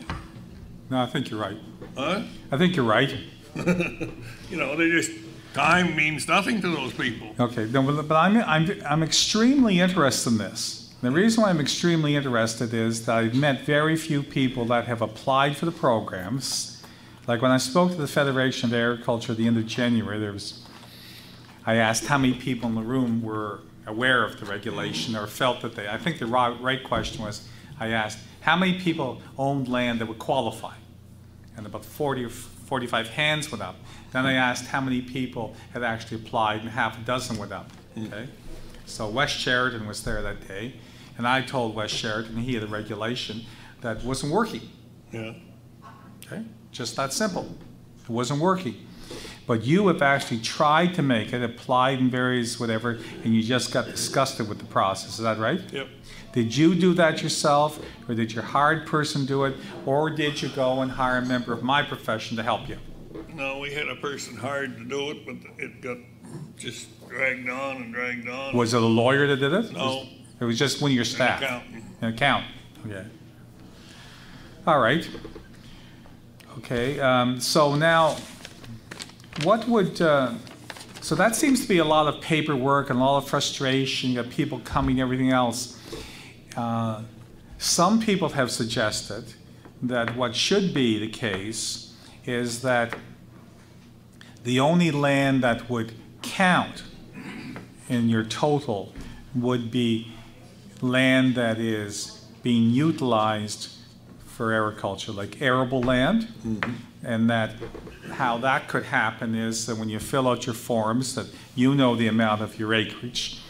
And uh, let's say that you had uh, 2,500 acres, three equal shareholders, but there was about uh, about seven or eight hundred acres that wasn't fit to be used. That if you were to put that down the form and sign it, certify it, would that be an easier process than going? Well, going that's through? what we were working on, is trying to get clear of some of this land that doesn't produce anything, you know? Yeah, But it was just, um, just, uh, the rigmarole was unreal. I don't know, what, it was just, um, so we just get fed up and yeah. No, I appreciate that. That's, that's been extremely helpful. Now, is there anything else at this time you'd like to tell me? No, I, I, I, I, you wonder why an old like me is still farming, but anyway. How old are you? That's Can't tell you that. You can't tell me? Well, I think, I think you can tell me, but you won't tell me. No, I, I had, I had, I had two grandsons that were supposed to be firemen. Yes, And uh, one fella moved to Grain Auger ten years, twenty years ago, and then they hooked on the power line. Oh, my. him. he, he died? Yeah. So the other fellow that was supposed to be there, he stayed around for a year or two and looked, he missed, missed the other fellow. So then he, he decided he went to work for another company and he likes what he's doing. I'm still stuck farming. Well, um, unless you've gone through that experience, and our first son died as a baby, you never get over as long as you live. Never. And I appreciate you have been much more helpful and informative than you think you have. And um, you uh, have been a great sport. And I need to ask you one final question. What's the name of the guy sitting beside you? Eddie Clark.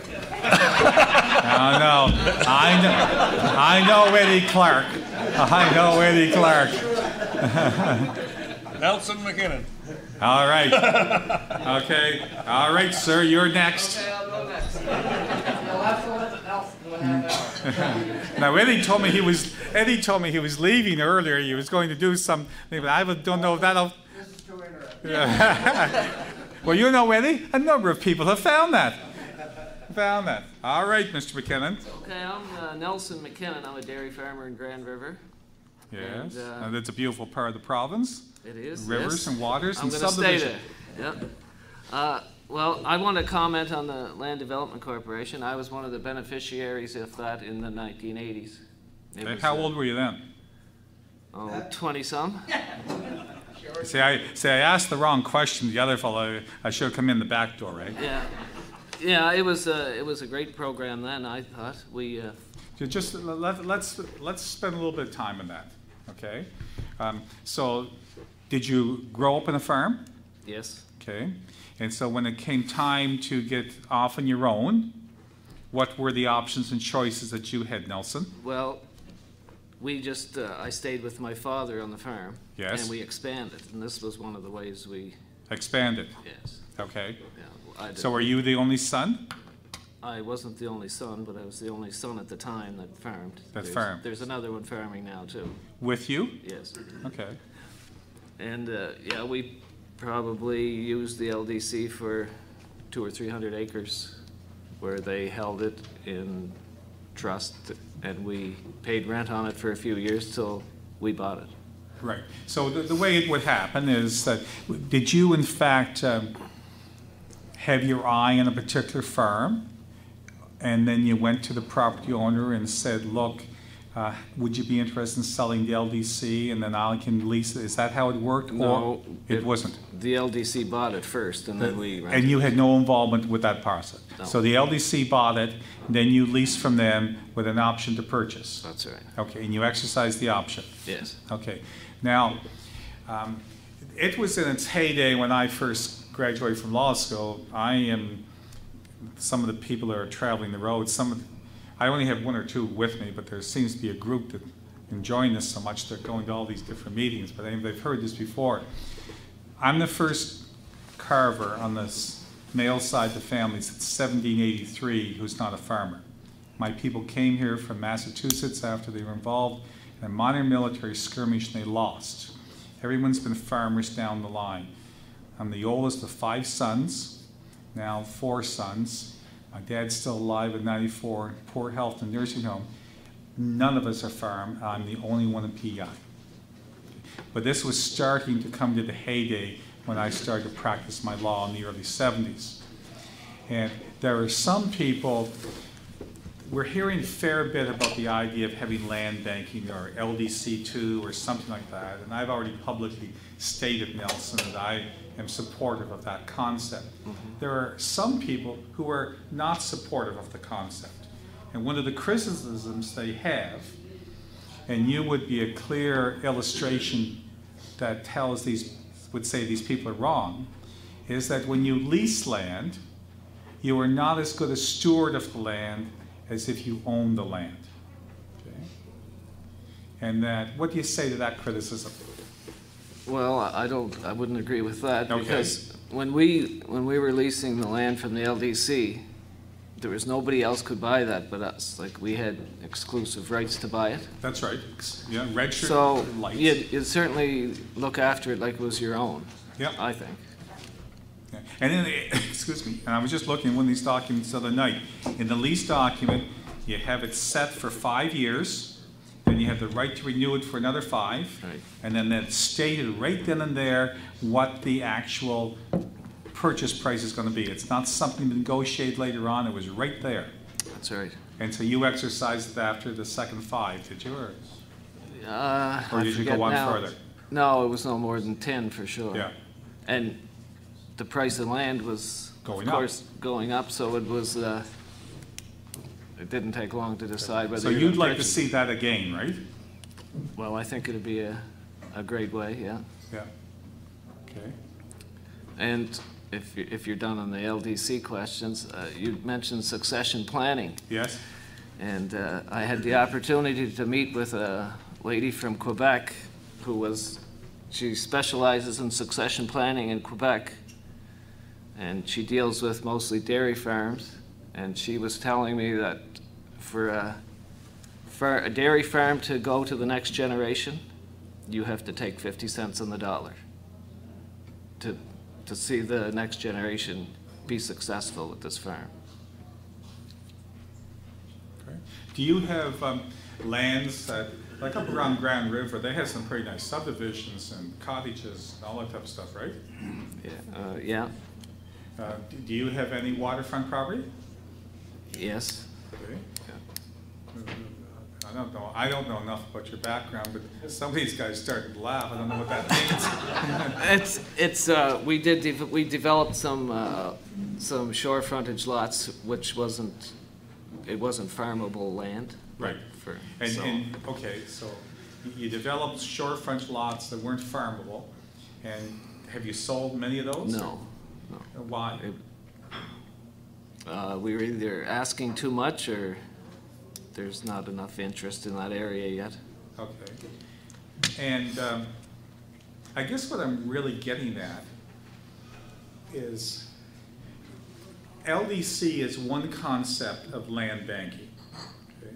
There's another concept of land banking, which is that we, and I actually support this, we should be protecting our landscape vistas and viewscapes and along those lines and that maybe there ought to try to um, see if it's possible, it wouldn't be possible in every situation, that maybe there would be a, some type of a trust established that could buy some development rights from you along the water, or it might buy some outright ownership. Um, What do you think about stuff like that? I, yeah, I think that'd be a great idea. Yeah. Well, Like whether it would be affordable or not. Well, somewhere along the line, you know, like, in some meetings, this is where I stand up, but um,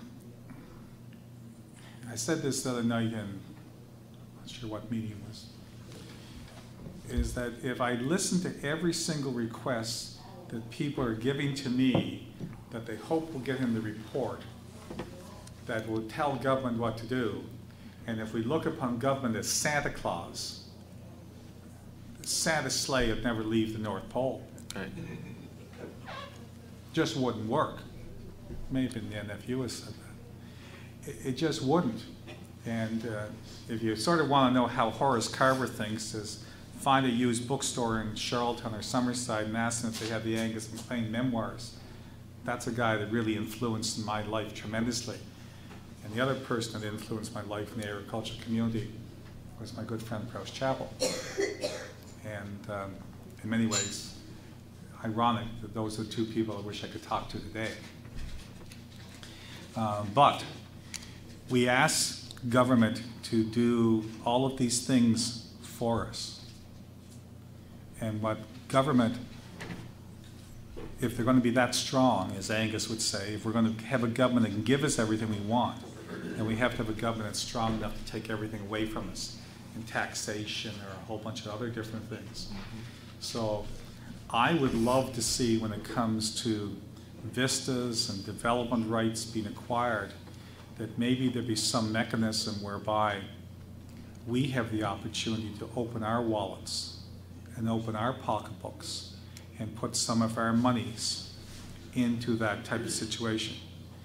Now, I wasn't born when the war was on, but at that time, Canadians bought victory bonds. And they bought victory bonds because they wanted their government to have money to fight the Nazis. Okay? And I'm just suggesting that maybe there needs to be some type of a program put in place where ordinary islanders can give money to be lent, you know, be getting interest, and development rights and vistas and different things can be acquired. And the net result will be they're saved in perpetuity, and the people, the farmers who own them are going to end up with some cash, and you don't have to subdivide your property and have a whole bunch of cottages sprinkled along the shore. That's what I'm suggesting. Yeah. And you think that's okay? I think that's a great idea. Should have had you up here at the very first meeting. Now, what else are you going to tell me, Well- Nelson? Economies of scale. Yes. Uh, we like uh, we we milk about eighty cows year round, and that's uh, like we milked eighty probably close to twenty years ago, and that was one of the largest dairy farms on the island twenty years ago, and now it's just a a little bit above average maybe, and uh, it's. Uh, Thank you, Eddie. Thank you, Father. The two Eddies are leaving the room. anyway, the like, I think economies of scale. It, it seems that for dairy farm, I think uh, you need to be a certain size. And you are, are you that size now? I think we are about the bottom of the size. The bottom of that size? Yes. Okay, so now you're going to tell me you want the land limits? Well, no, I'm not? just I'm just telling you my, my opinion. Sure, Uh, that's what I want. our farm has been fairly successful, like, like dairy farm is pretty successful, we get supply management, we made money every year, we never have a bad year, and we never have, you never make a fortune, but you always make a good living. And I can see where it's slowly eroding away, because if you could expand a little bit, it would be much better. Even our processor has purchased a, another processor over, well, it's a working relationship with uh, one in New Brunswick. Yes? And just because of the economies of scale, they do a lot of things back and forth together. And uh, I think even here, they're starting to discuss where dairy farms are, like, we, if we wanted to expand, like, if I wanted to buy Peter's dairy farm and move my, the- his quota to my place, it's, you can't do that. Like, you, you might be able to expand by a cow or two a year, or five or something. Yeah. And I know there's a lot of dairy farms in, in the, in our area that are not in very good financial shape, maybe, because, not necessarily because they can't expand, but Okay. I think that's part of it. Like, I have four tractors, Peter has four tractors, Jill has four tractors. Everybody has four tractors that are sitting ninety-five percent of the time. That's why I think economies of scale can work. Okay, um, you're going to have to help me here. You're making these statements, and what do you want to see happen or change? Obviously, you're Well, not I- I'm kind of getting to Allison, like, I think a potato farm needs to have a lot of, a lot of acres for the crop rotation that the government wants now. And, uh, uh, what year was it that the three thousand limit came in? Was it 1982. Eighty-two? So it's, it's probably time it was looked at for change, I would say. Because you're gonna get, you- there's even dairy farms that are, must be getting up close to that now. Well, we haven't had many, much disclosure of that fact at these meetings. Um, Do you grow potatoes? No, Just strictly dairy? yes. We And- rent, we rent some land out to Allison. That's the connection. Okay. Uh, Do you uh, own enough land that you have to report to IRAC every year? No. No. We have enough land, but I know there's a lot of people that, So you're, you're okay with sufficient land that you have? I am, yes. Okay, well But then, I, I would, down the road, I can see my son, it, like, our dairy farm will have to grow if, if he wants to stay around. how old is he? Twenty-one, 21? yeah. Okay. So uh, next year I'll have two at agricultural college, like if, I'm not saying they're gonna come back to farm, but if they ever did, like, it's, I'm way too young to retire, so uh, we'd have to expand to make a living.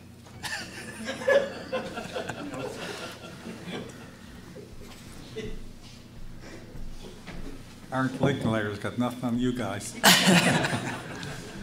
Um, Well, you know, through, through the midst of your comments and, and stories and mine as well, it's, it's rather encouraging to hear of someone who wanted to be a farmer young, worked with his dad. He had a brother who didn't want to be a farmer. That brother has come back. Now he's farming. And next year, you're going to have two in agricultural college. You're not sure what they're going to do, but the fact that they're there, there. Like, I mean, for my years, Nelson, those are wonderful stories. They're actually encouragements that I don't hear that often as I travel these roads. Uh, I think highly commended. I might go a step further and say that, you know, I take some notes, and this guy takes all the notes and everything like this, but we had a blueberry grower and processor in Eastern Kings wants to see the limits higher. And we've had um, a lot of potato farmers do. But then you would fit into a category of maybe just one or two. And they are dairy farmers that are saying they'd like to see the limits raised in part because your neighbors who are potato farmers, you think they needed it. Am I hearing that correctly from you? Well, I'm also thinking of myself. Because, that's okay. like, our firm is gonna need to grow, Later on, yes, okay. And are you incorporated? yes. Okay, um, let's go back to the questions I asked your seatmate there. Um, What do you think about if it was just arable land that was being counted? Would that have helped you? It would help, yeah. Okay. How much of your, how many acres do you have? Oh, we might have a thousand, probably six hundred and fifty to seven hundred would be farmable. Okay. So if you did that, that, that- like, that's a significant, that's a a third, that's a significant difference? Okay. But we're, we're incorporated, like, we can still go to three thousand. Yes, you can. Yeah, Uh, Provided you have three equal shareholders. yeah. And you haven't had reason to uh, apply for the uh, environmentally sensitive exemptions, uh, I suppose after you talk to your neighbor, Alice? No, you- you we wouldn't- did, we did, uh, we do have some land that's tied up in ALUS. Okay. And what do you think of that program? It's, it's all right. Pardon me? It's all right. That means it's not all right. No, it's, it's good. It's, it's better than nothing. My heavens above. You know, Hal, I used to run the roads here about 30 years ago up around this, 35 years up around, but you know, I haven't been here for a long time, I'm telling you. I have to come up here more often. You should. So I've, this is my second trip to Wellington in a short period of time. And we were in Alberton, in Leary, Kensington, Summerside. I told the mayor of Summerside yesterday I didn't know what was going on. Saw him in Charlottetown, which was a big shock. And uh, how come he didn't come to my meeting? Anyway, he said he was out of town when it happened, he didn't know anything about it at the time. Okay, what else you gonna tell me, Nelson? Well, Allison was telling you that he would, he'd like to sell his farm. Yes. Is there, is there some way where he could do that? Two? Well, to government, investors? Well, we heard uh, Professor Carroll give a proposal there this afternoon, Yes. and uh, you guys may wish to give him your names in case he gets that off the ground. Well, from what I can see,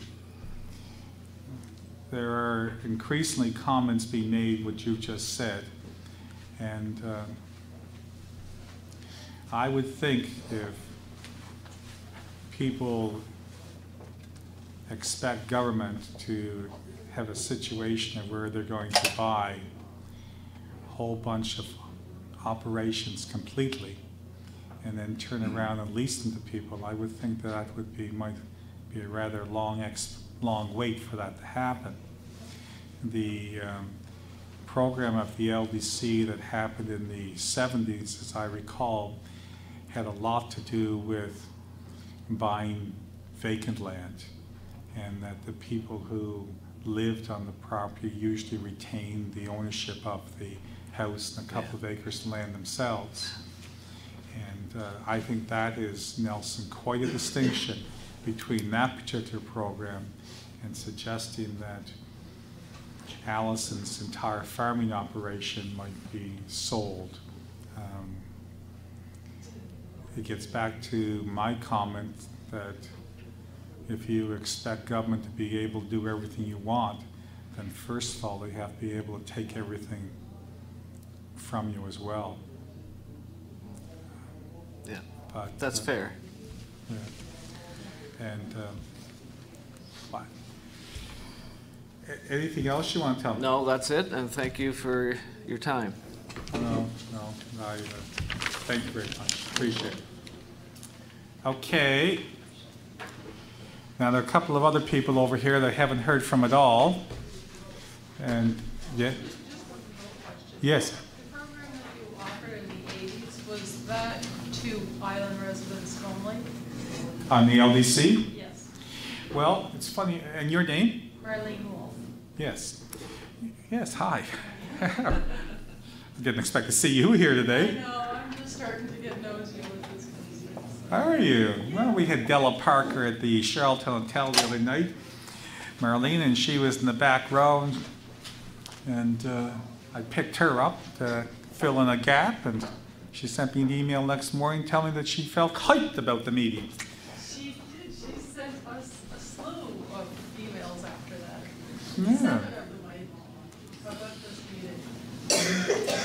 Okay, I guess I was successful with Miss Parker.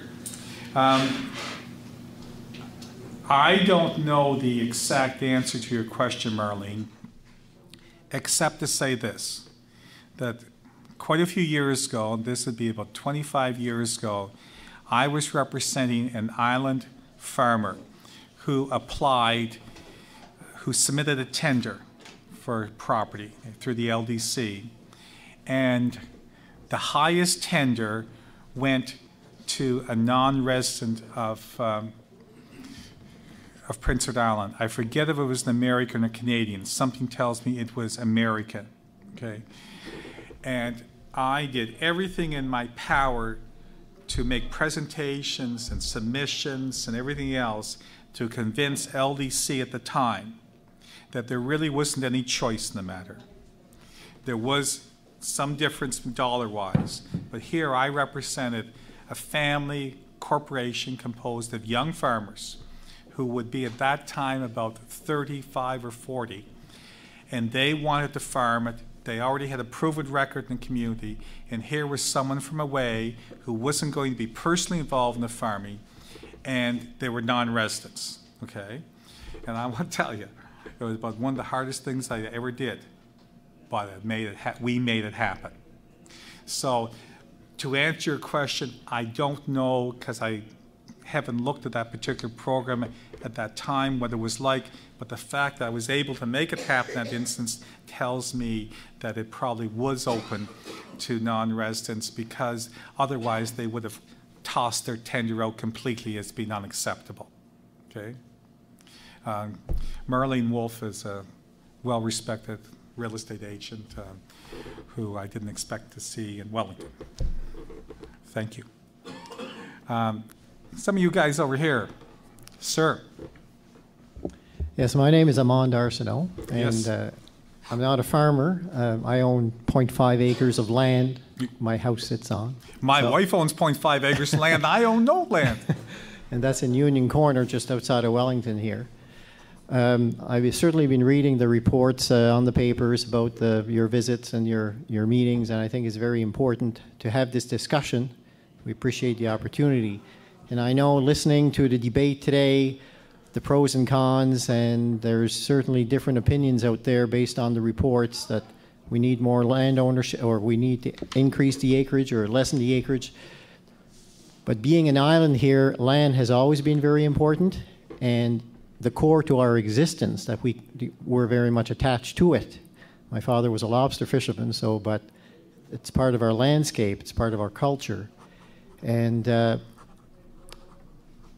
and, and with today's economy, and we were talking, or uh, uh, Tim Carroll's presentation on the way or the type of things that could happen with economies of scale, et cetera, and in today's world, to make a living, a farmer, um, it, they, they have to move on with the times. That's, that's, that's for sure.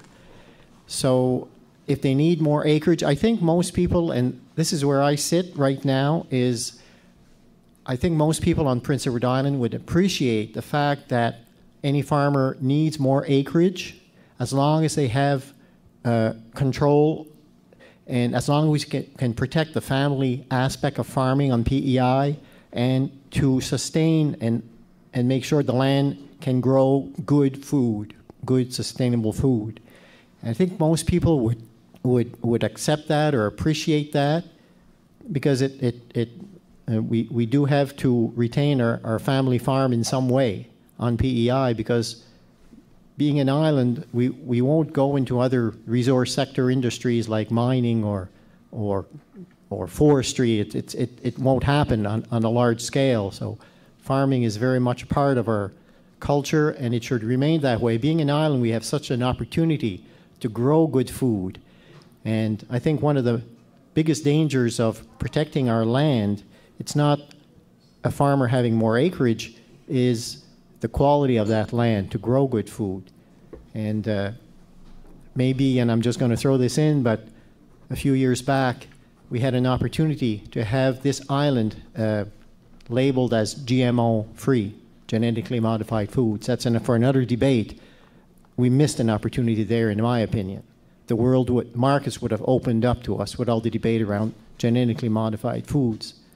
However, I think um, if there's this whole um, issue of land protection, if, if acreage is increased for farmers, which I don't disapprove, it has to be done that it protects the family farm, it protects corporate control of what we find is, is important to, to Prince Edward Island, to islanders, and to our, to our land and to the quality of our land. And I appreciate the, uh, the opportunity to for here. Well, I, I appreciate those comments very much. Uh, and and the, I should have said this earlier.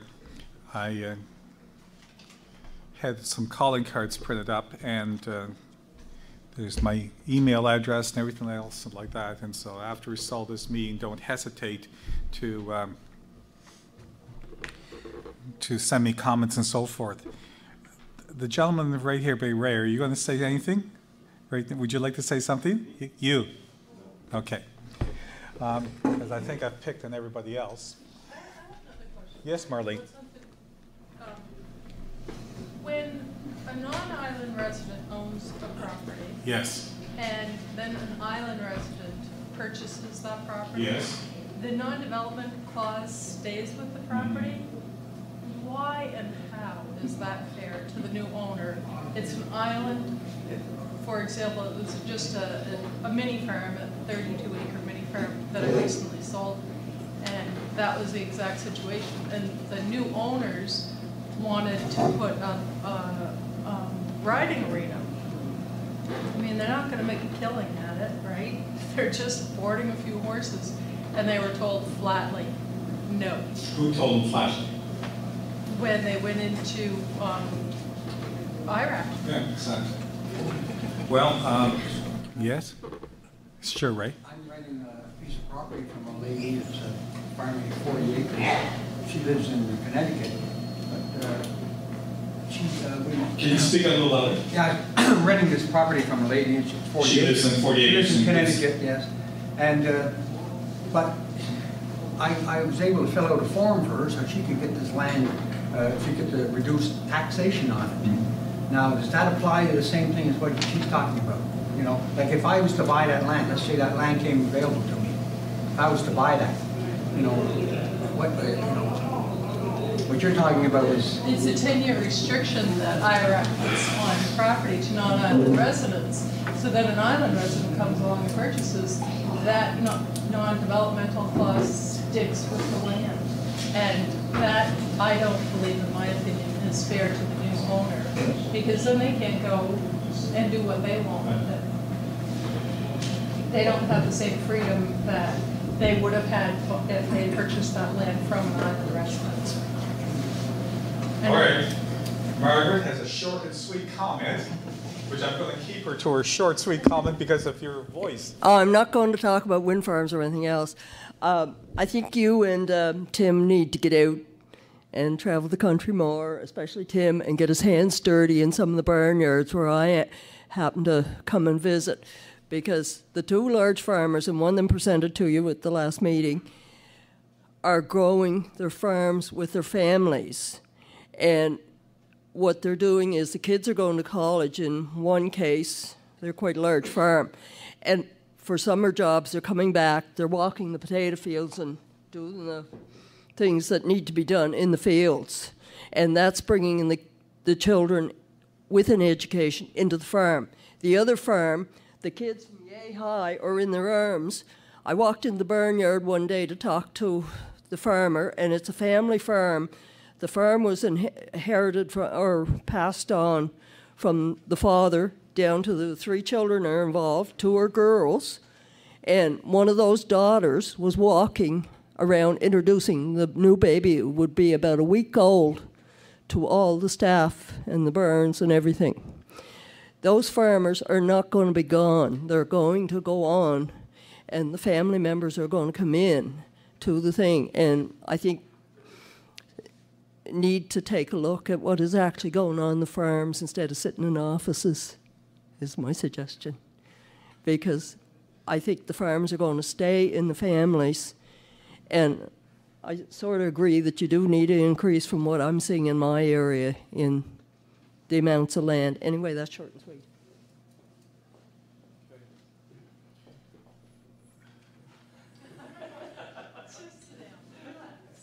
Yes, Peter. In terms of reference, number four, any other matter which the commissioner deems appropriate to review and bring to the attention of the executive council. Uh, That's pretty wide sweeping. I hope so. In your estimation, does that involve the uh, or any issues Yes, related? certainly Crop or uh, land stewardship? Yes. Uh, As the round of meetings closes, I would, I would like to state that I am not opposed to the idea of increasing the land limits. In fact, I see it as probably a necessity as we go into the future. And Like I know the two families that uh, the lady who spoke was talking about, and and Allison uh, and Nelson, successful farms that uh, will have to grow as, as the generations go on, hopefully. That's what'll happen. Uh,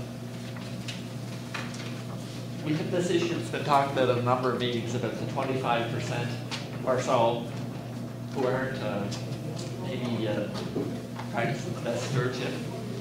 Uh, with all due respect to Mr. Linkletter, who presented other night, a highly respected gentleman in the farming community and the business community in general, uh, referred to them as maybe, maybe speeders on the highway where somebody else uh, referred them to twenty-five percent as uh, impaired drivers maybe.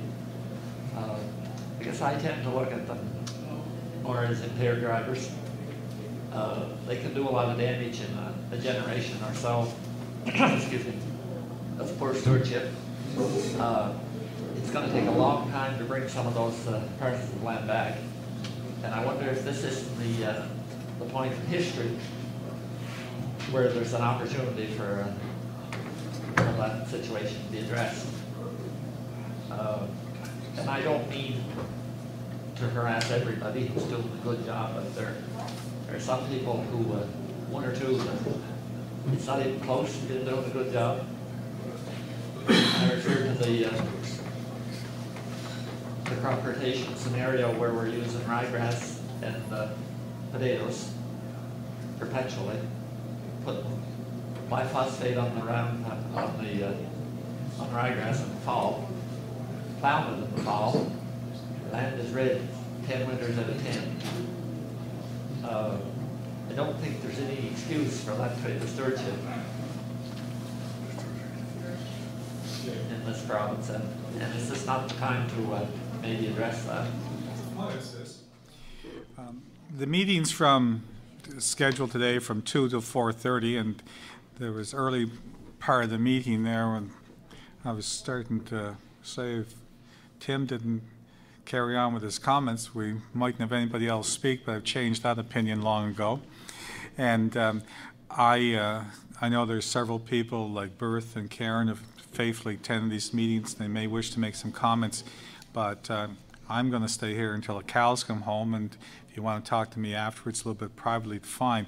But in the last five or ten minutes, you've just been pumping comments every which way, and somewhere along the line, I feel I need to say a, a few things um, to answer. And, and, Marlene, some of the comments that you're making are really so direct um, towards uh, number two here um, about the. Um, I don't think you. Uh, Natalie, I'd like another one of these sheets of paper up here, please, to appear to Marlene get in here without you giving it to her um, to right there, is that this land identification program has been causing significant amount of issues and discussion in these public meetings. Okay?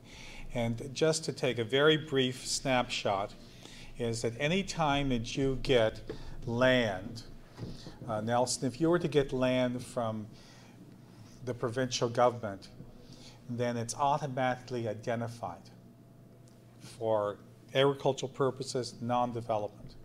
If you are a corporation, you flip it from yourself to your corporation. All of your lands are identified. Okay? If you are a non-resident of Prince Island and you get a permission to buy land, unless you are located the lands inside a municipality, they're all identified. Now, um, if you have those identifications on it, everybody thinks, almost everybody thinks, that after 10 years they're over. That is not the way it is. Okay, is you have to wait until the first year goes by, and then you can give 10 year notice. And if you don't give the 10 year notice, you still have to wait 10 years until you give the notice. Now, I have uh, sent a letter to IRAC, and they have responded. And like I asked them some questions I know the answers to, but I'd like them to tell me, okay? And one of the questions I asked them is about the identification program. And they've responded and said that the most commonplace thing they hear about the identification program is that everyone thinks it's over after 10 years. Well, you know, there's something wrong with the program if all the people that are in it think that it's over after 10 years. Okay? Like there's something wrong. And who's the wrong with? Well, can I say I think it's with the people that have put the program in place or the people who are administering the program. And I can tell you, because I know the cases to be true, and I've had people contact me, not because of this job, because I've been around with a bit of gray hair. Some other lawyers have contacted me and said, we have some instances where people have obtained building permits and have built homes, and yet the land is found to be identified, and that when they go to sell their home down the road, they can't get permission to sell it because it's never been de identified years ago.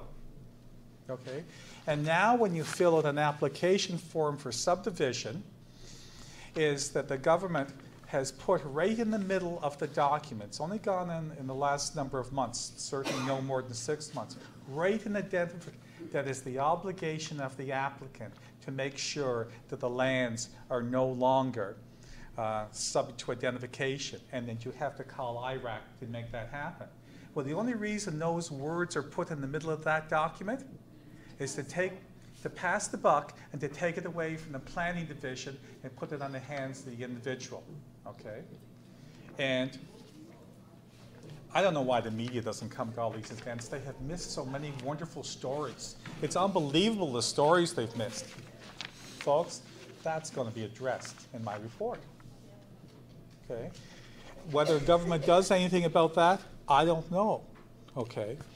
And to answer your specific question, Marlene, you have a non resident that has land, there are identification restrictions on it, they sell it to an island resident. Okay. Well, first of all, you have to know the facts. Was it how many years ago has identification, notification been given, and all those things?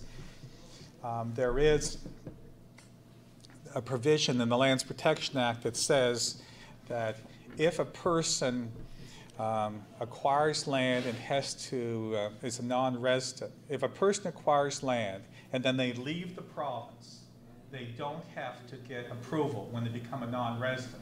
Okay, you know, maybe someone can make an argument that if you're a non-resident and you got restrictions and then you become a resident, does the rule go back the same way? I don't know. Okay, um, now when you become a to acquire land and you're a non-resident, you have to pay one percent to IRAC if you're buying more than five acres of land or 165 feet along the water as a fee. Okay, um, you know, maybe there should be something that says that if you become a resident within the province within the next year, maybe you get part or all of that back. I don't know. I don't know. There seems to be a lot of discussion these days in Ottawa and here about what a residency is. Um, in order to be a resident, uh, according to the statute, it's 165, uh, 183 days the year. It doesn't say you have to be consecutive. You know, what's fair for the goose is fair to gander. I don't know. Um, all I know is this: that unless we have laws and the application of these laws that seem logical and reasonable in their application, you get to a point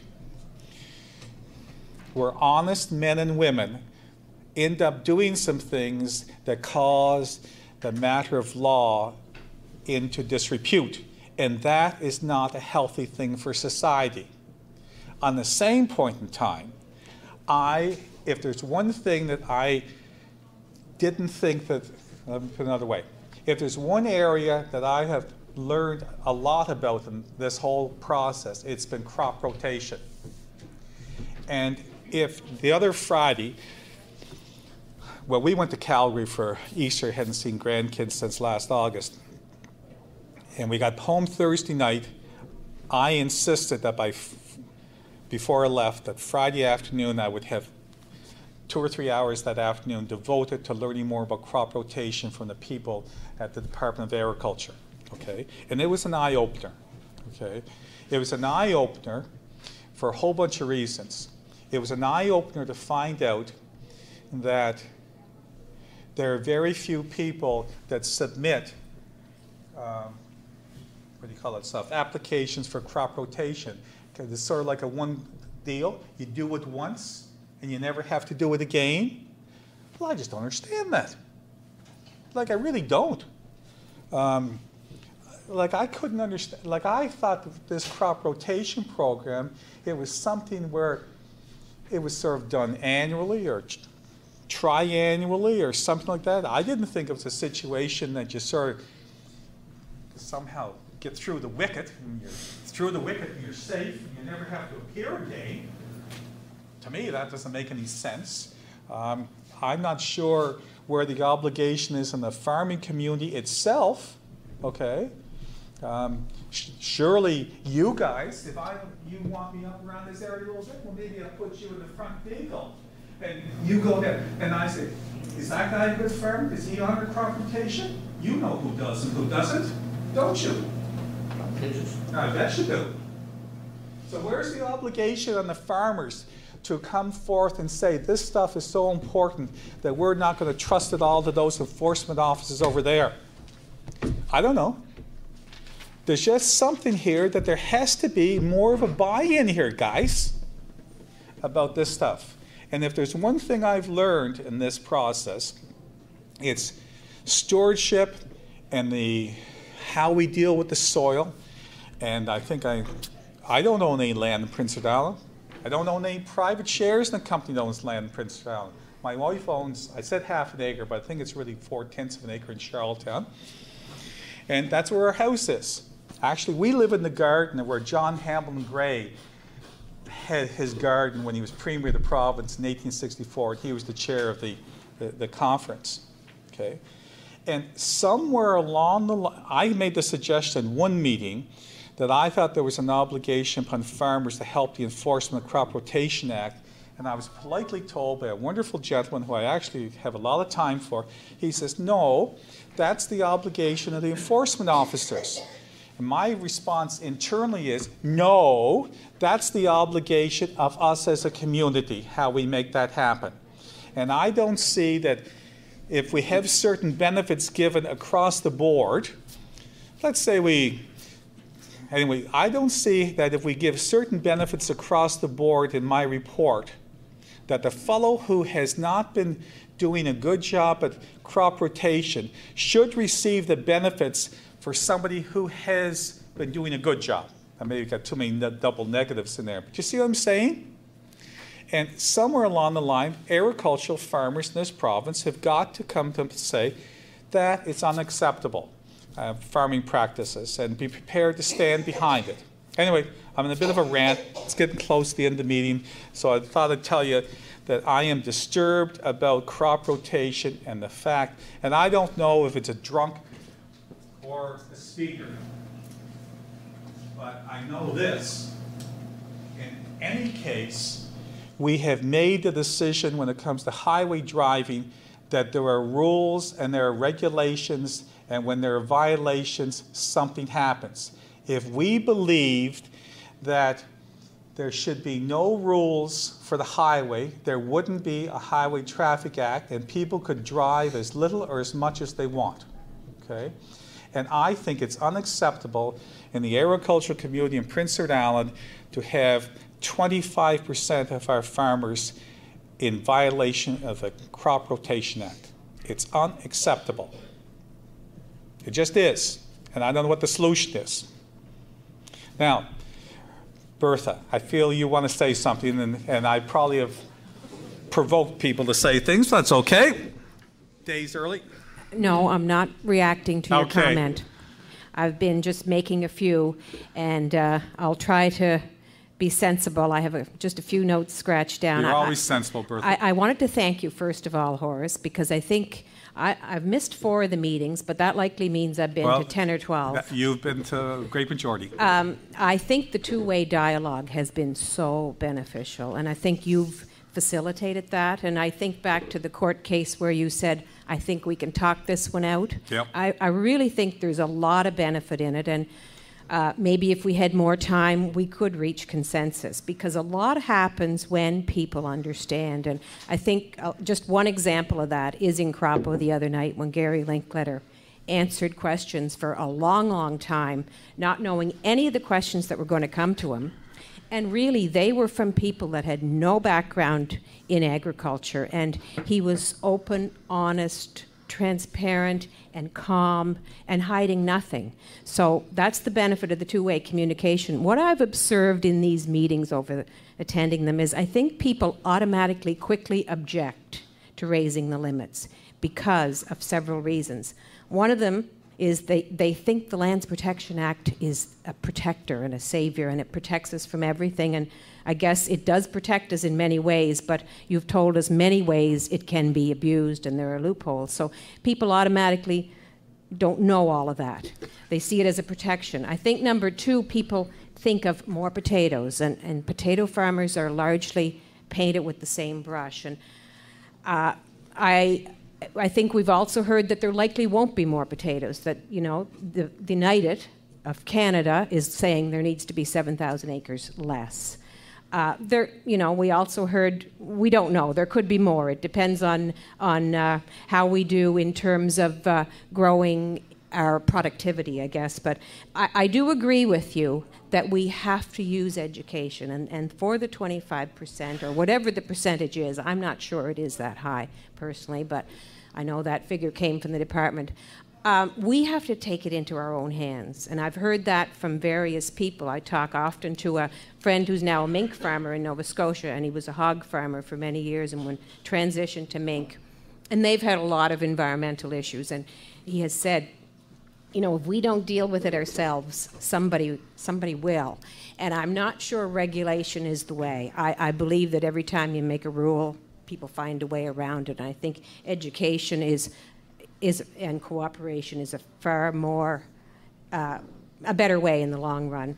Uh, the other thing I think is a lot of people presume corporate is bad, and that's really unfortunate. John Jamieson showed a slide the other night in Charlottetown where, you know, probably 90 some percent of the farms are in an incorporated picture, and there's a tiny, tiny uh, uh, bar of corporations that are not farming, and they include like your pasture, your community pastures, and so on. Unfortunately, people, when they say the family farm is dying, I don't agree with that. I think that, you know, Vernon and Bertha Campbell is a corporation, but we're also the face of the family farm. So, uh, you know, I hear the terms industrial farm and factory farm, and I like to ask what, what the definition is because a lot of these terms are thrown around kind of loosely. Um, you know, some people say that factory farm, the definition of a factory farm is a farm that has one more animal than you or another acre of potatoes than you. It's all a very comparative thing. Uh, just to move on a little bit to Tim's presentation, I want to thank him. It was pr- thought provoking. I did find it uh, complicated and uh, it didn't quickly resonate with me, although maybe through time I would get to understand it better. I did like the fact that you know, he said discretion and flexibility is needed, and I heard that from Armand here. And every now and then at a meeting, there would be a magnanimous person who would stand up and say, if there's a farmer that's doing a good job and needs more acres, I'm okay with that. And I think that when people really understand uh, the issue, that we get to that point. Uh, my final point is just to go back to what Raymond Moore said, and Raymond Moore was the lawyer that wrote this act. Uh, and he kind of scolded us a little bit, I thought. He said, You know, your generalizations are not helpful. And probably I've made a lot of generalizations, but um, what, what, what uh, Horace needs are facts and figures on profitability and size and scale and so on. But he also went on to say that one thing Horace Carver cannot do for you is he cannot stop the economic forces. And, and uh, Allison alluded to picking up 67 milk cans on his tour to Summerside. My father in law, Johnny Campbell, had about the same route. I think he told me he had 60 some stops. Now there might be one or two dairy farms, and our processor, ADL, is, is now with, with Dairytown. And that's the same of the cooperative dairies in the Atlantic provinces. Farmers has gone with Agropur. So those are the forces that we can't stop. So I'm going to stop there, and I just want to uh, say I really appreciated hearing from everyone here. I really appreciated hearing from all all of the farm input here today. Yeah, is thank helpful. you very much. Karen, Karen Cobb, I know you have uh, perhaps haven't gone to 11 or 12, but you've gone to uh, quite a few. And you were actually, when I came in today, I think about the first person here, and I recognized you from, from just as I came in. I said, well, she's here again.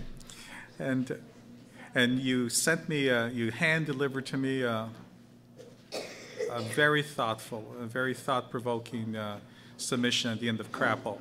Uh, do you have any comments you'd like to make?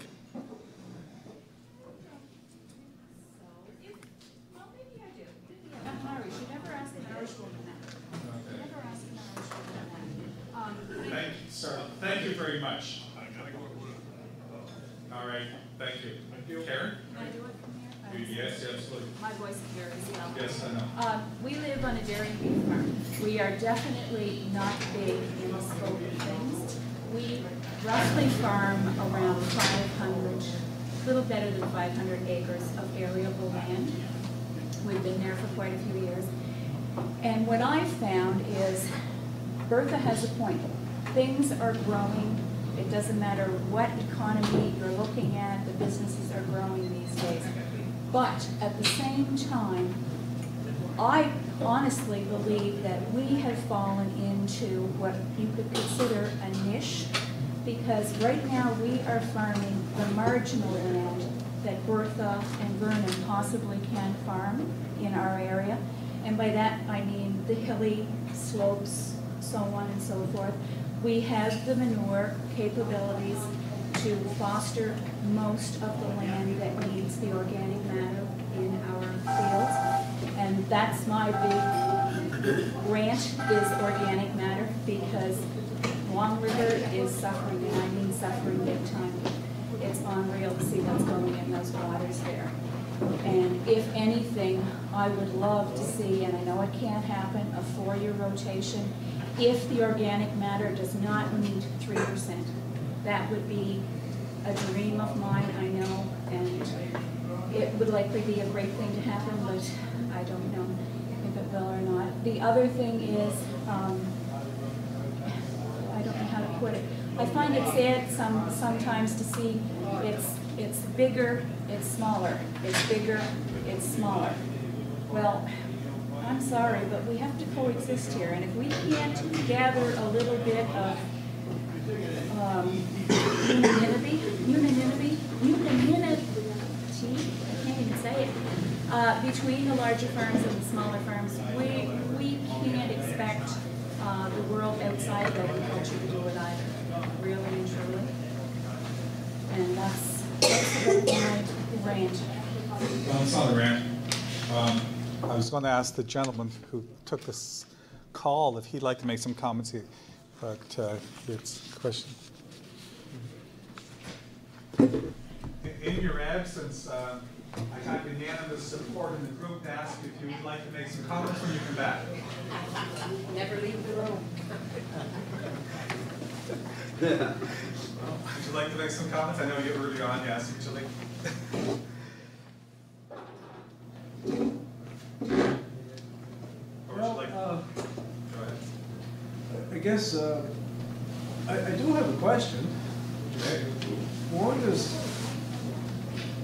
when is a farmer required to report their land holdings and their rental agreements to IRAC?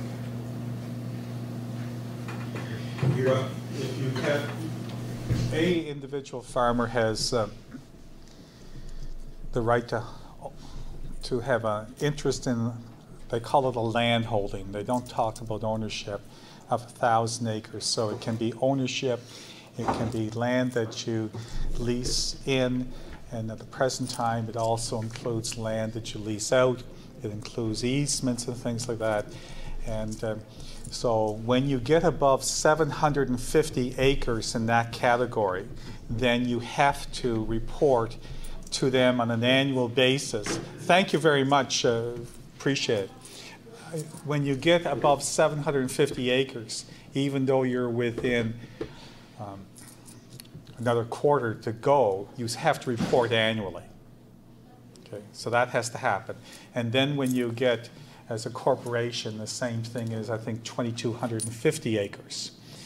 And then you can apply to get global leases and things like that about annually and back and forth and so forth.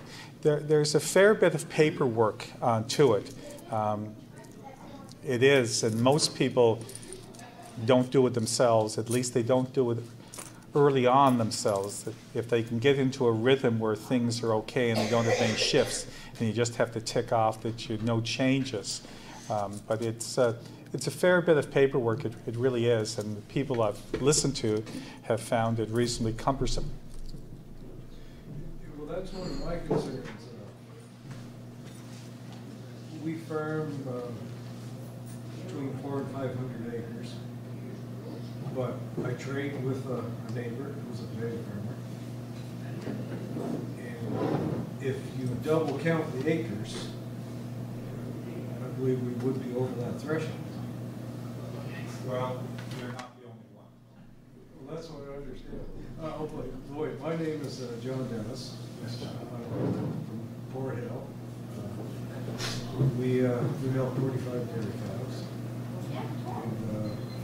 And, we have ten thousand laying hens. Which makes me the second smallest commercial egg producer in Prince Edward Island.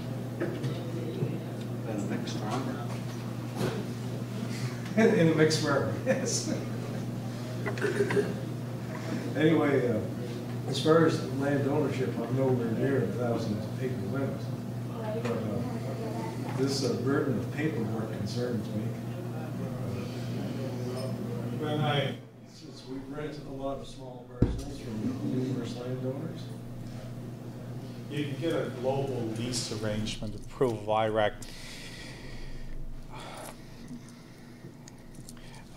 I have, I'm not going to write the report this afternoon, but I have heard a tremendous amount of individual stories and Thank you, Bertha, for your comments. One of the things that I really tried to have happen here, because I knew that if we just had formal presentations and submissions in advance, this was not going to work. But somewhere we had to be able to listen, and hear each other, okay?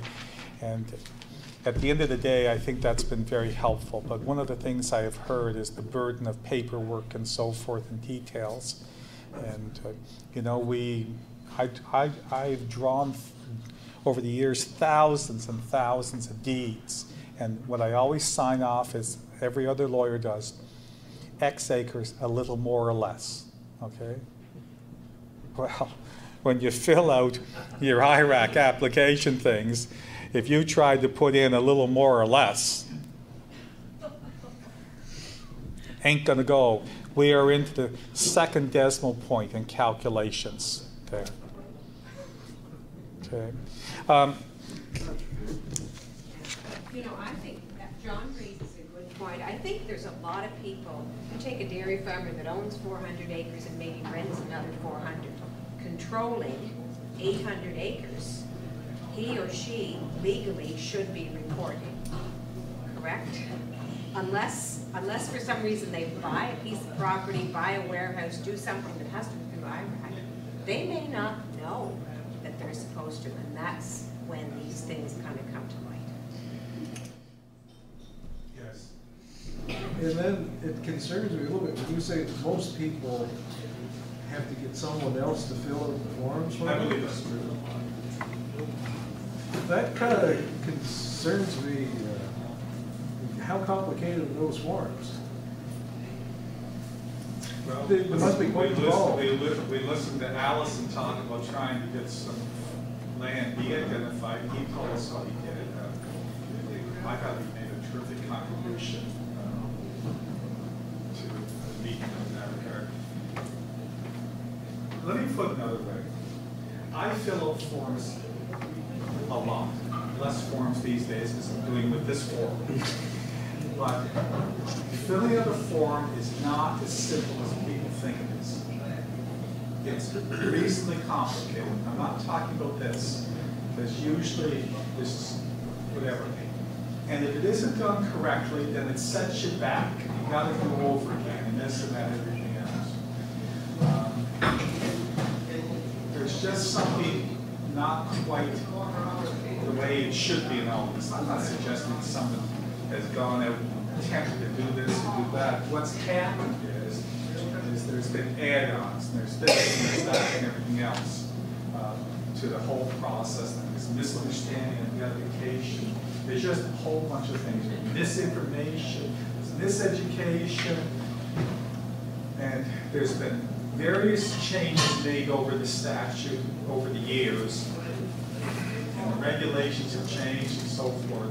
And what started off with this statute was passed, Guy that put it through the legislature, Peter McLean asked me to take the legislative committee on agriculture that was headed by Gordy Lang and brought back 18 recommendations. The legislature accepted it from both sides, and then I had to work with Raymond Ward, spoken by Michelle, and the legislative drafts, unbelievable amount of time together.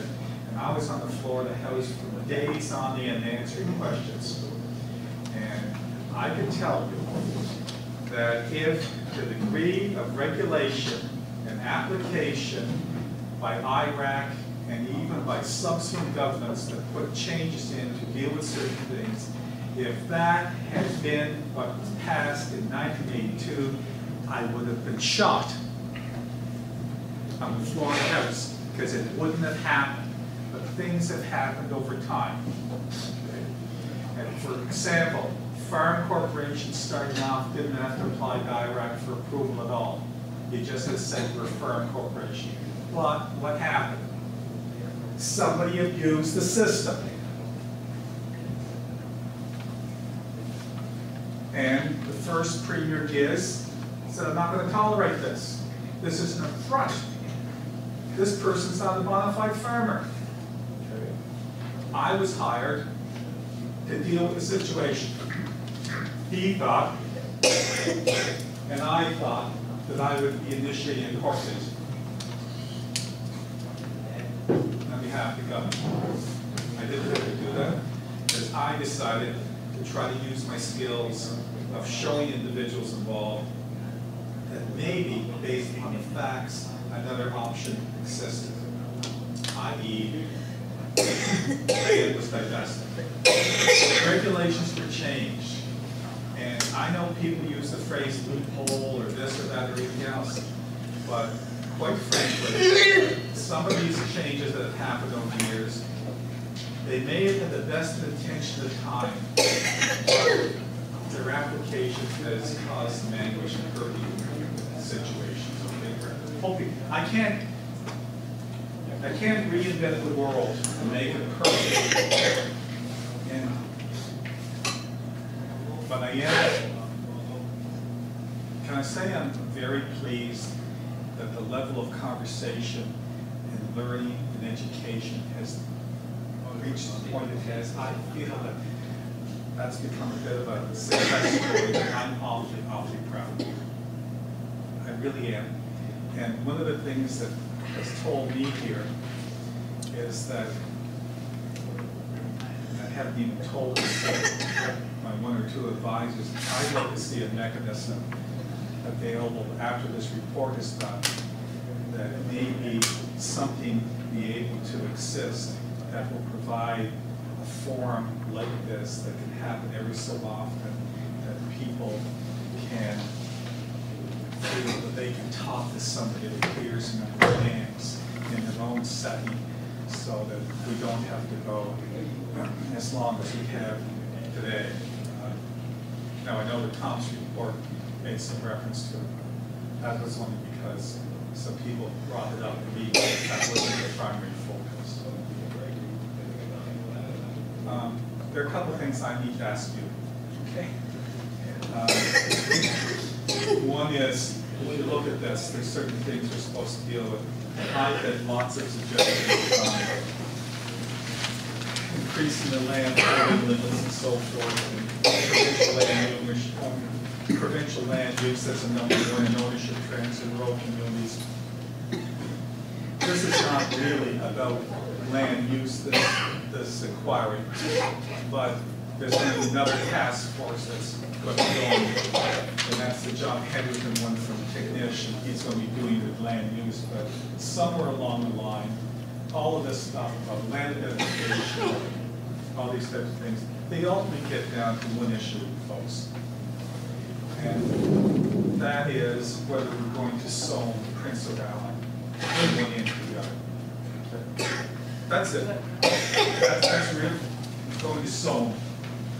Okay, we're going to sow like in in all of these municipalities that have official plans, the land is either to agriculture, residential, And then we got a whole bunch of areas the province that aren't sown.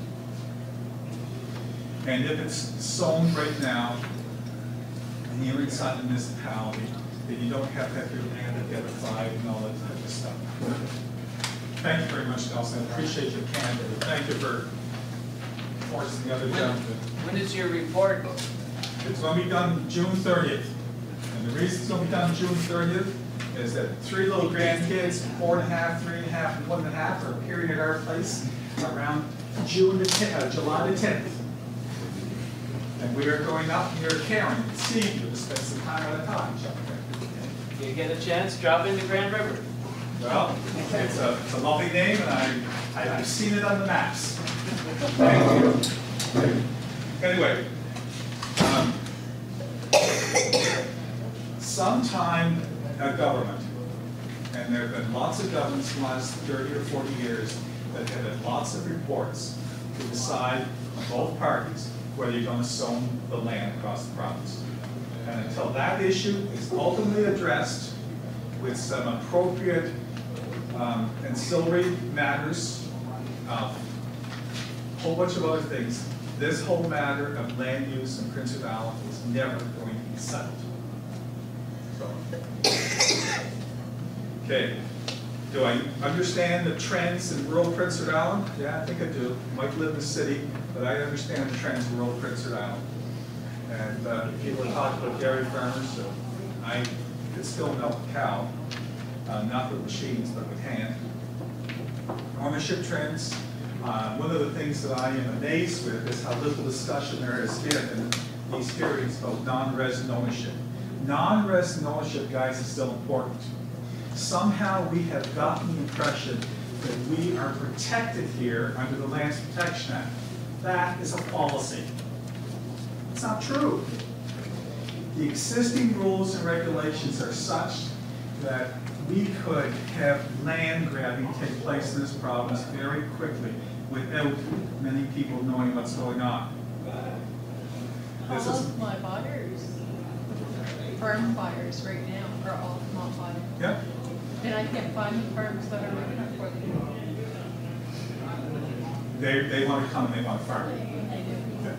Well, um, I guess my quick quip to that is that uh, if we've got people that want to come and farm our land, and want to live with us and become part of us, then what's the difference between those individuals and my ancestors who lost the little battle below the American border and decided to come up here and be farmers? In fact, my great-grandfather, great-great-grandfather was a tenant farmer in Hazelbrook for approximately 40 to 50 plus years. He only got his deed a few years before he died at age 90. Have you had much representation at any of uh, your meetings from um, non-island residents? No, it's been a shock, an absolute shock. Uh, Marlene, you were the second real estate agent to appear at my meetings. I've had two or three people stop in the street and tell me they're going to appear, but they never do. But some members of my profession tell me that too, and they haven't appeared. I haven't had a presentation from the PEI Real Estate Association, which I'm shocked and amazed about that I haven't. But after Della sent me an email, I put her on the spot the day. She sent me an email the next morning saying that she was really glad that I did, and she felt pumped, she going to contact the association and tell them get something in. So maybe I will receive something like that. Um, I'll make sure the president. I, I don't mind a call, I really would like a piece of paper.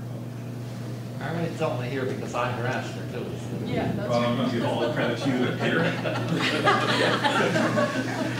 No, I don't want to find land for sale and farmers that want to sell. Uh, The Globe and Mail business section, page one, February 25th. International billionaires are forking over tens of millions for New York's latest ultra-high-end living as a hedge against uncertainty, and many are doing it sight unseen. In other words, they have the cash, they're buying it as an investment, okay?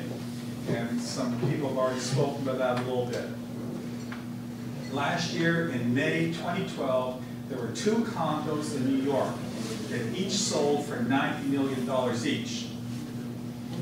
In February, there was one sold for 88, in June, 70 million, and in November, I guess it was a little slack, $54 million.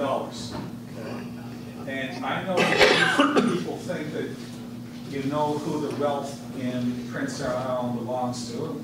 Probably passed a piece of paper with five names down, we'd probably be, have common factors of three or four. That type of wealth that those folks have is nothing compared to that type of. Nothing whatsoever. And the type of people that you're talking about coming from the target agriculture, and all, that's helpful, that's really productive to our society. But having land grabs of which they're not invested themselves and living in part of it, that's not going to be helpful to our society. Angus MacLean got himself into trouble with the front page challenge, but I'll take Angus MacLean any day over Gordon Stinker or Rebecca Kennedy. He said, I am an Islander first, Maritime second, Canadian third. And he always made the point that there's a difference between a person who is a resident of a province and a person who owns the land here, the land is owned and they live elsewhere, okay? And as tough as it is to argue sometimes that position with some people, there is a difference. There is a difference.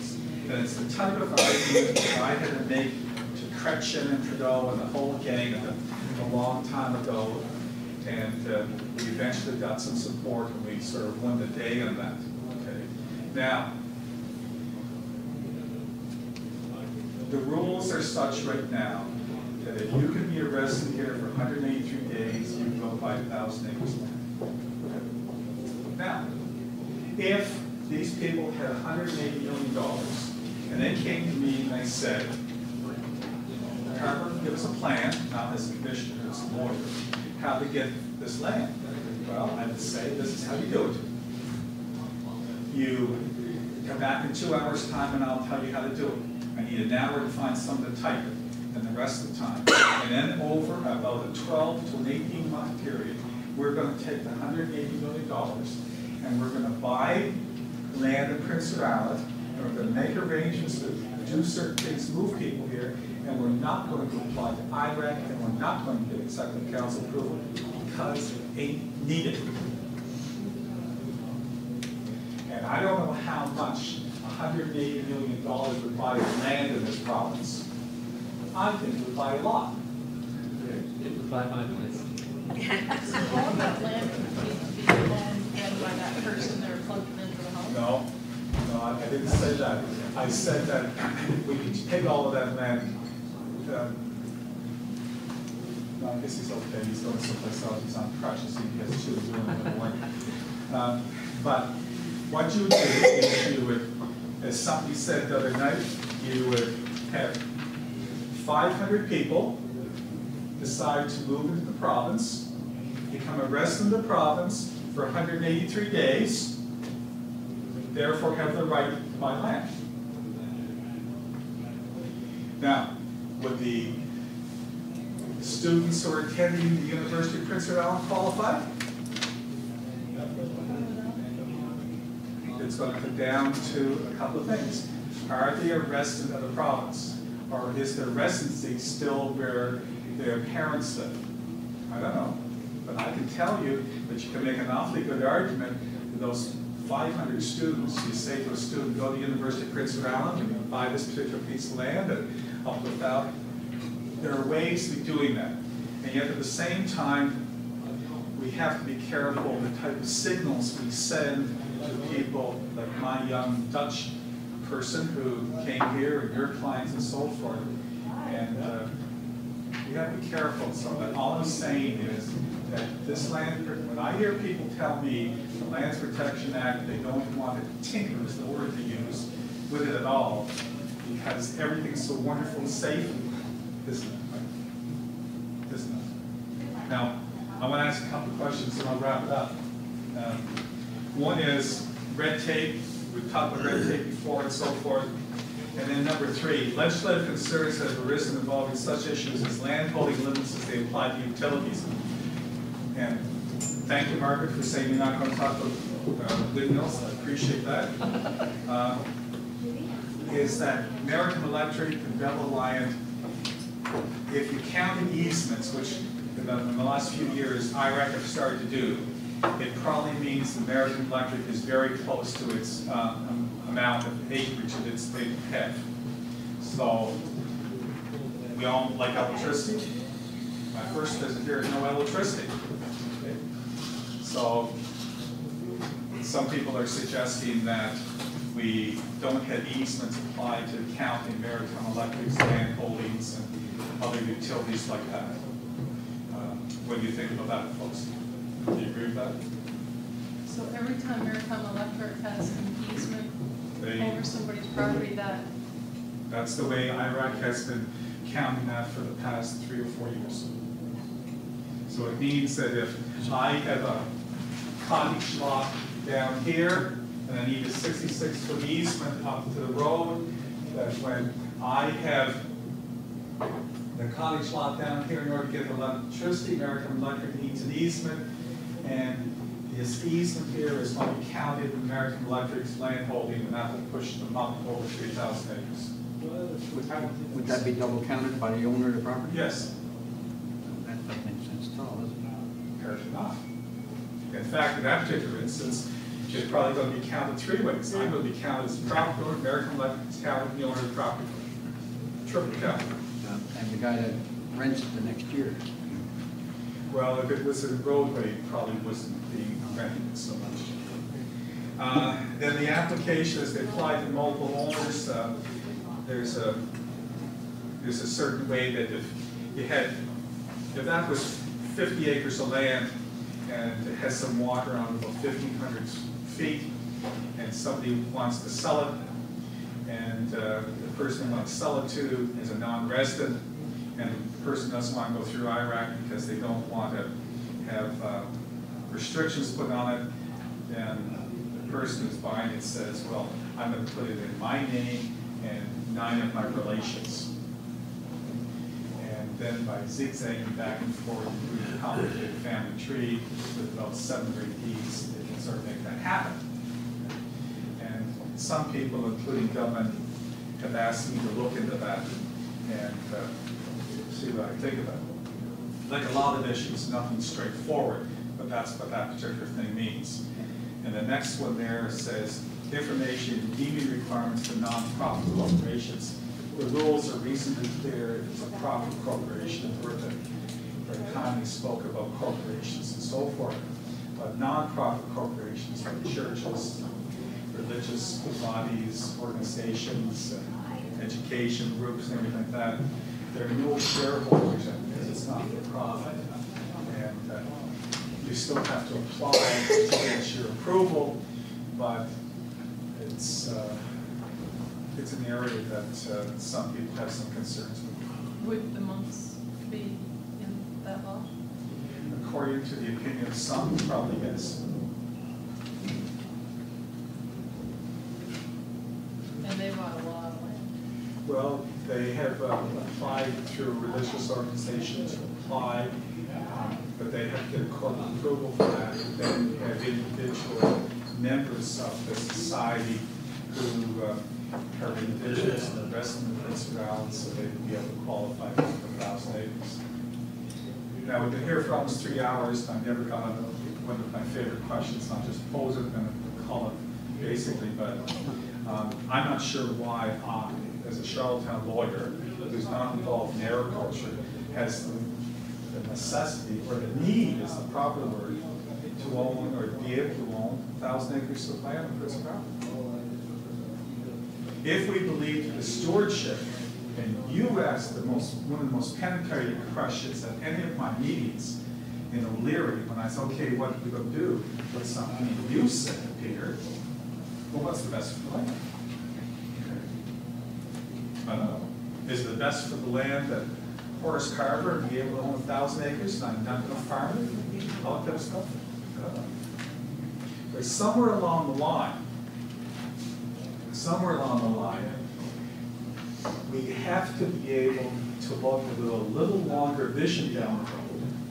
At the same point in time, we need to garner and gain more support for different things. We've got to see less uh, conspiracies, and we need to have a greater appreciation of what we're doing here is of the long-term nature. Now, before I got appointed this commission, and I applied for it, it was ad in the paper in September, and I, was a tough year last year, we kind of turned around.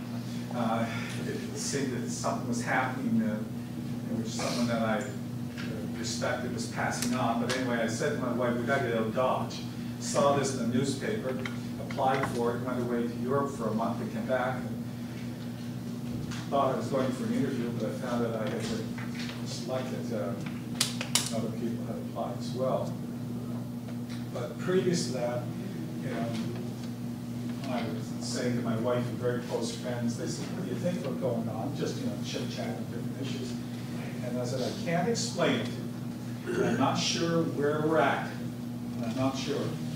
But my gut instinct and my head and my heart tell me, I've said this the last couple years, Prince Edward Island's going through a revolution.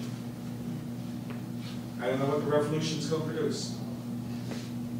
I think the revolution has to do with change. And I think the change that we will see in Prince Edward Island in 25 or 30 years, we will look back upon this time as having played a tremendous role.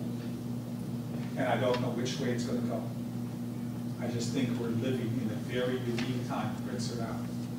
And it's going to require greater trust and understanding of other points of view working together and less finger pointing and less accusations. And uh, so I appreciate all of your thoughts and suggestions. Don't hesitate to take a card. And uh, the report is going to be done in June. I'm going to submit it to the council cabinet. And I'm giving serious consideration. None of you are part-time journalists, are you? Oh, yeah. You're, you're, you've become tone deaf, haven't you? Haven't you, Mr. Perry? I'm considering asking for the premier permission if I could uh, perhaps reconvene a meeting with the Charlottetown Hotel to make my report public afterwards. And that would be highly unusual and, uh, and to answer any questions. Anyway, you've been, tr- and one of the, having said, I don't want you to get the impression I'm pessimistic about, I just think we're going to change. But I have been so impressed, so impressed by the, the excitement, the integrity, the uh, articulateness, and the thoughtfulness of citizens across this province. And uh, as I've said to you, it's up to a a thousand now. Uh, 600 have attended these meetings, and 350 besides I've spoken to. And if I was doing the job that I did, Hal Terry 30 years ago, Angus MacLean, running the roads, looking for candidates to stand for political office, I would have a long list of potential candidates. I just think that it's absolutely fabulous. And yes, there's some probably problems I don't know that well.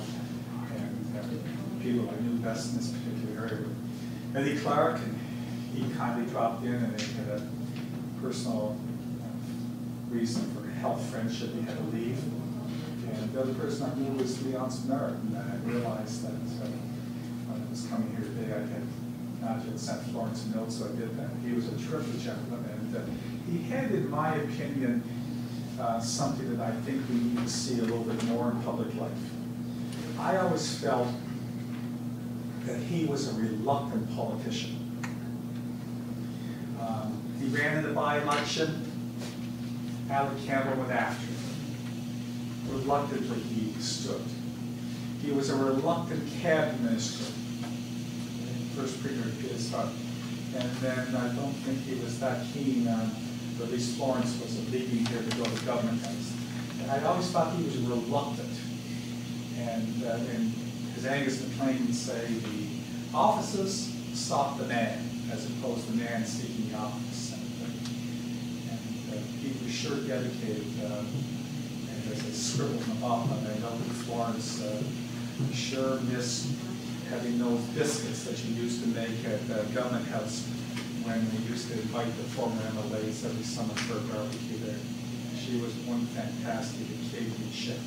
Anyway, Um, the wonderful thing about this is there's no agenda, and I'm going to stay here for a while, and I to thank you. It's been wonderful. I've really enjoyed it. Thank you.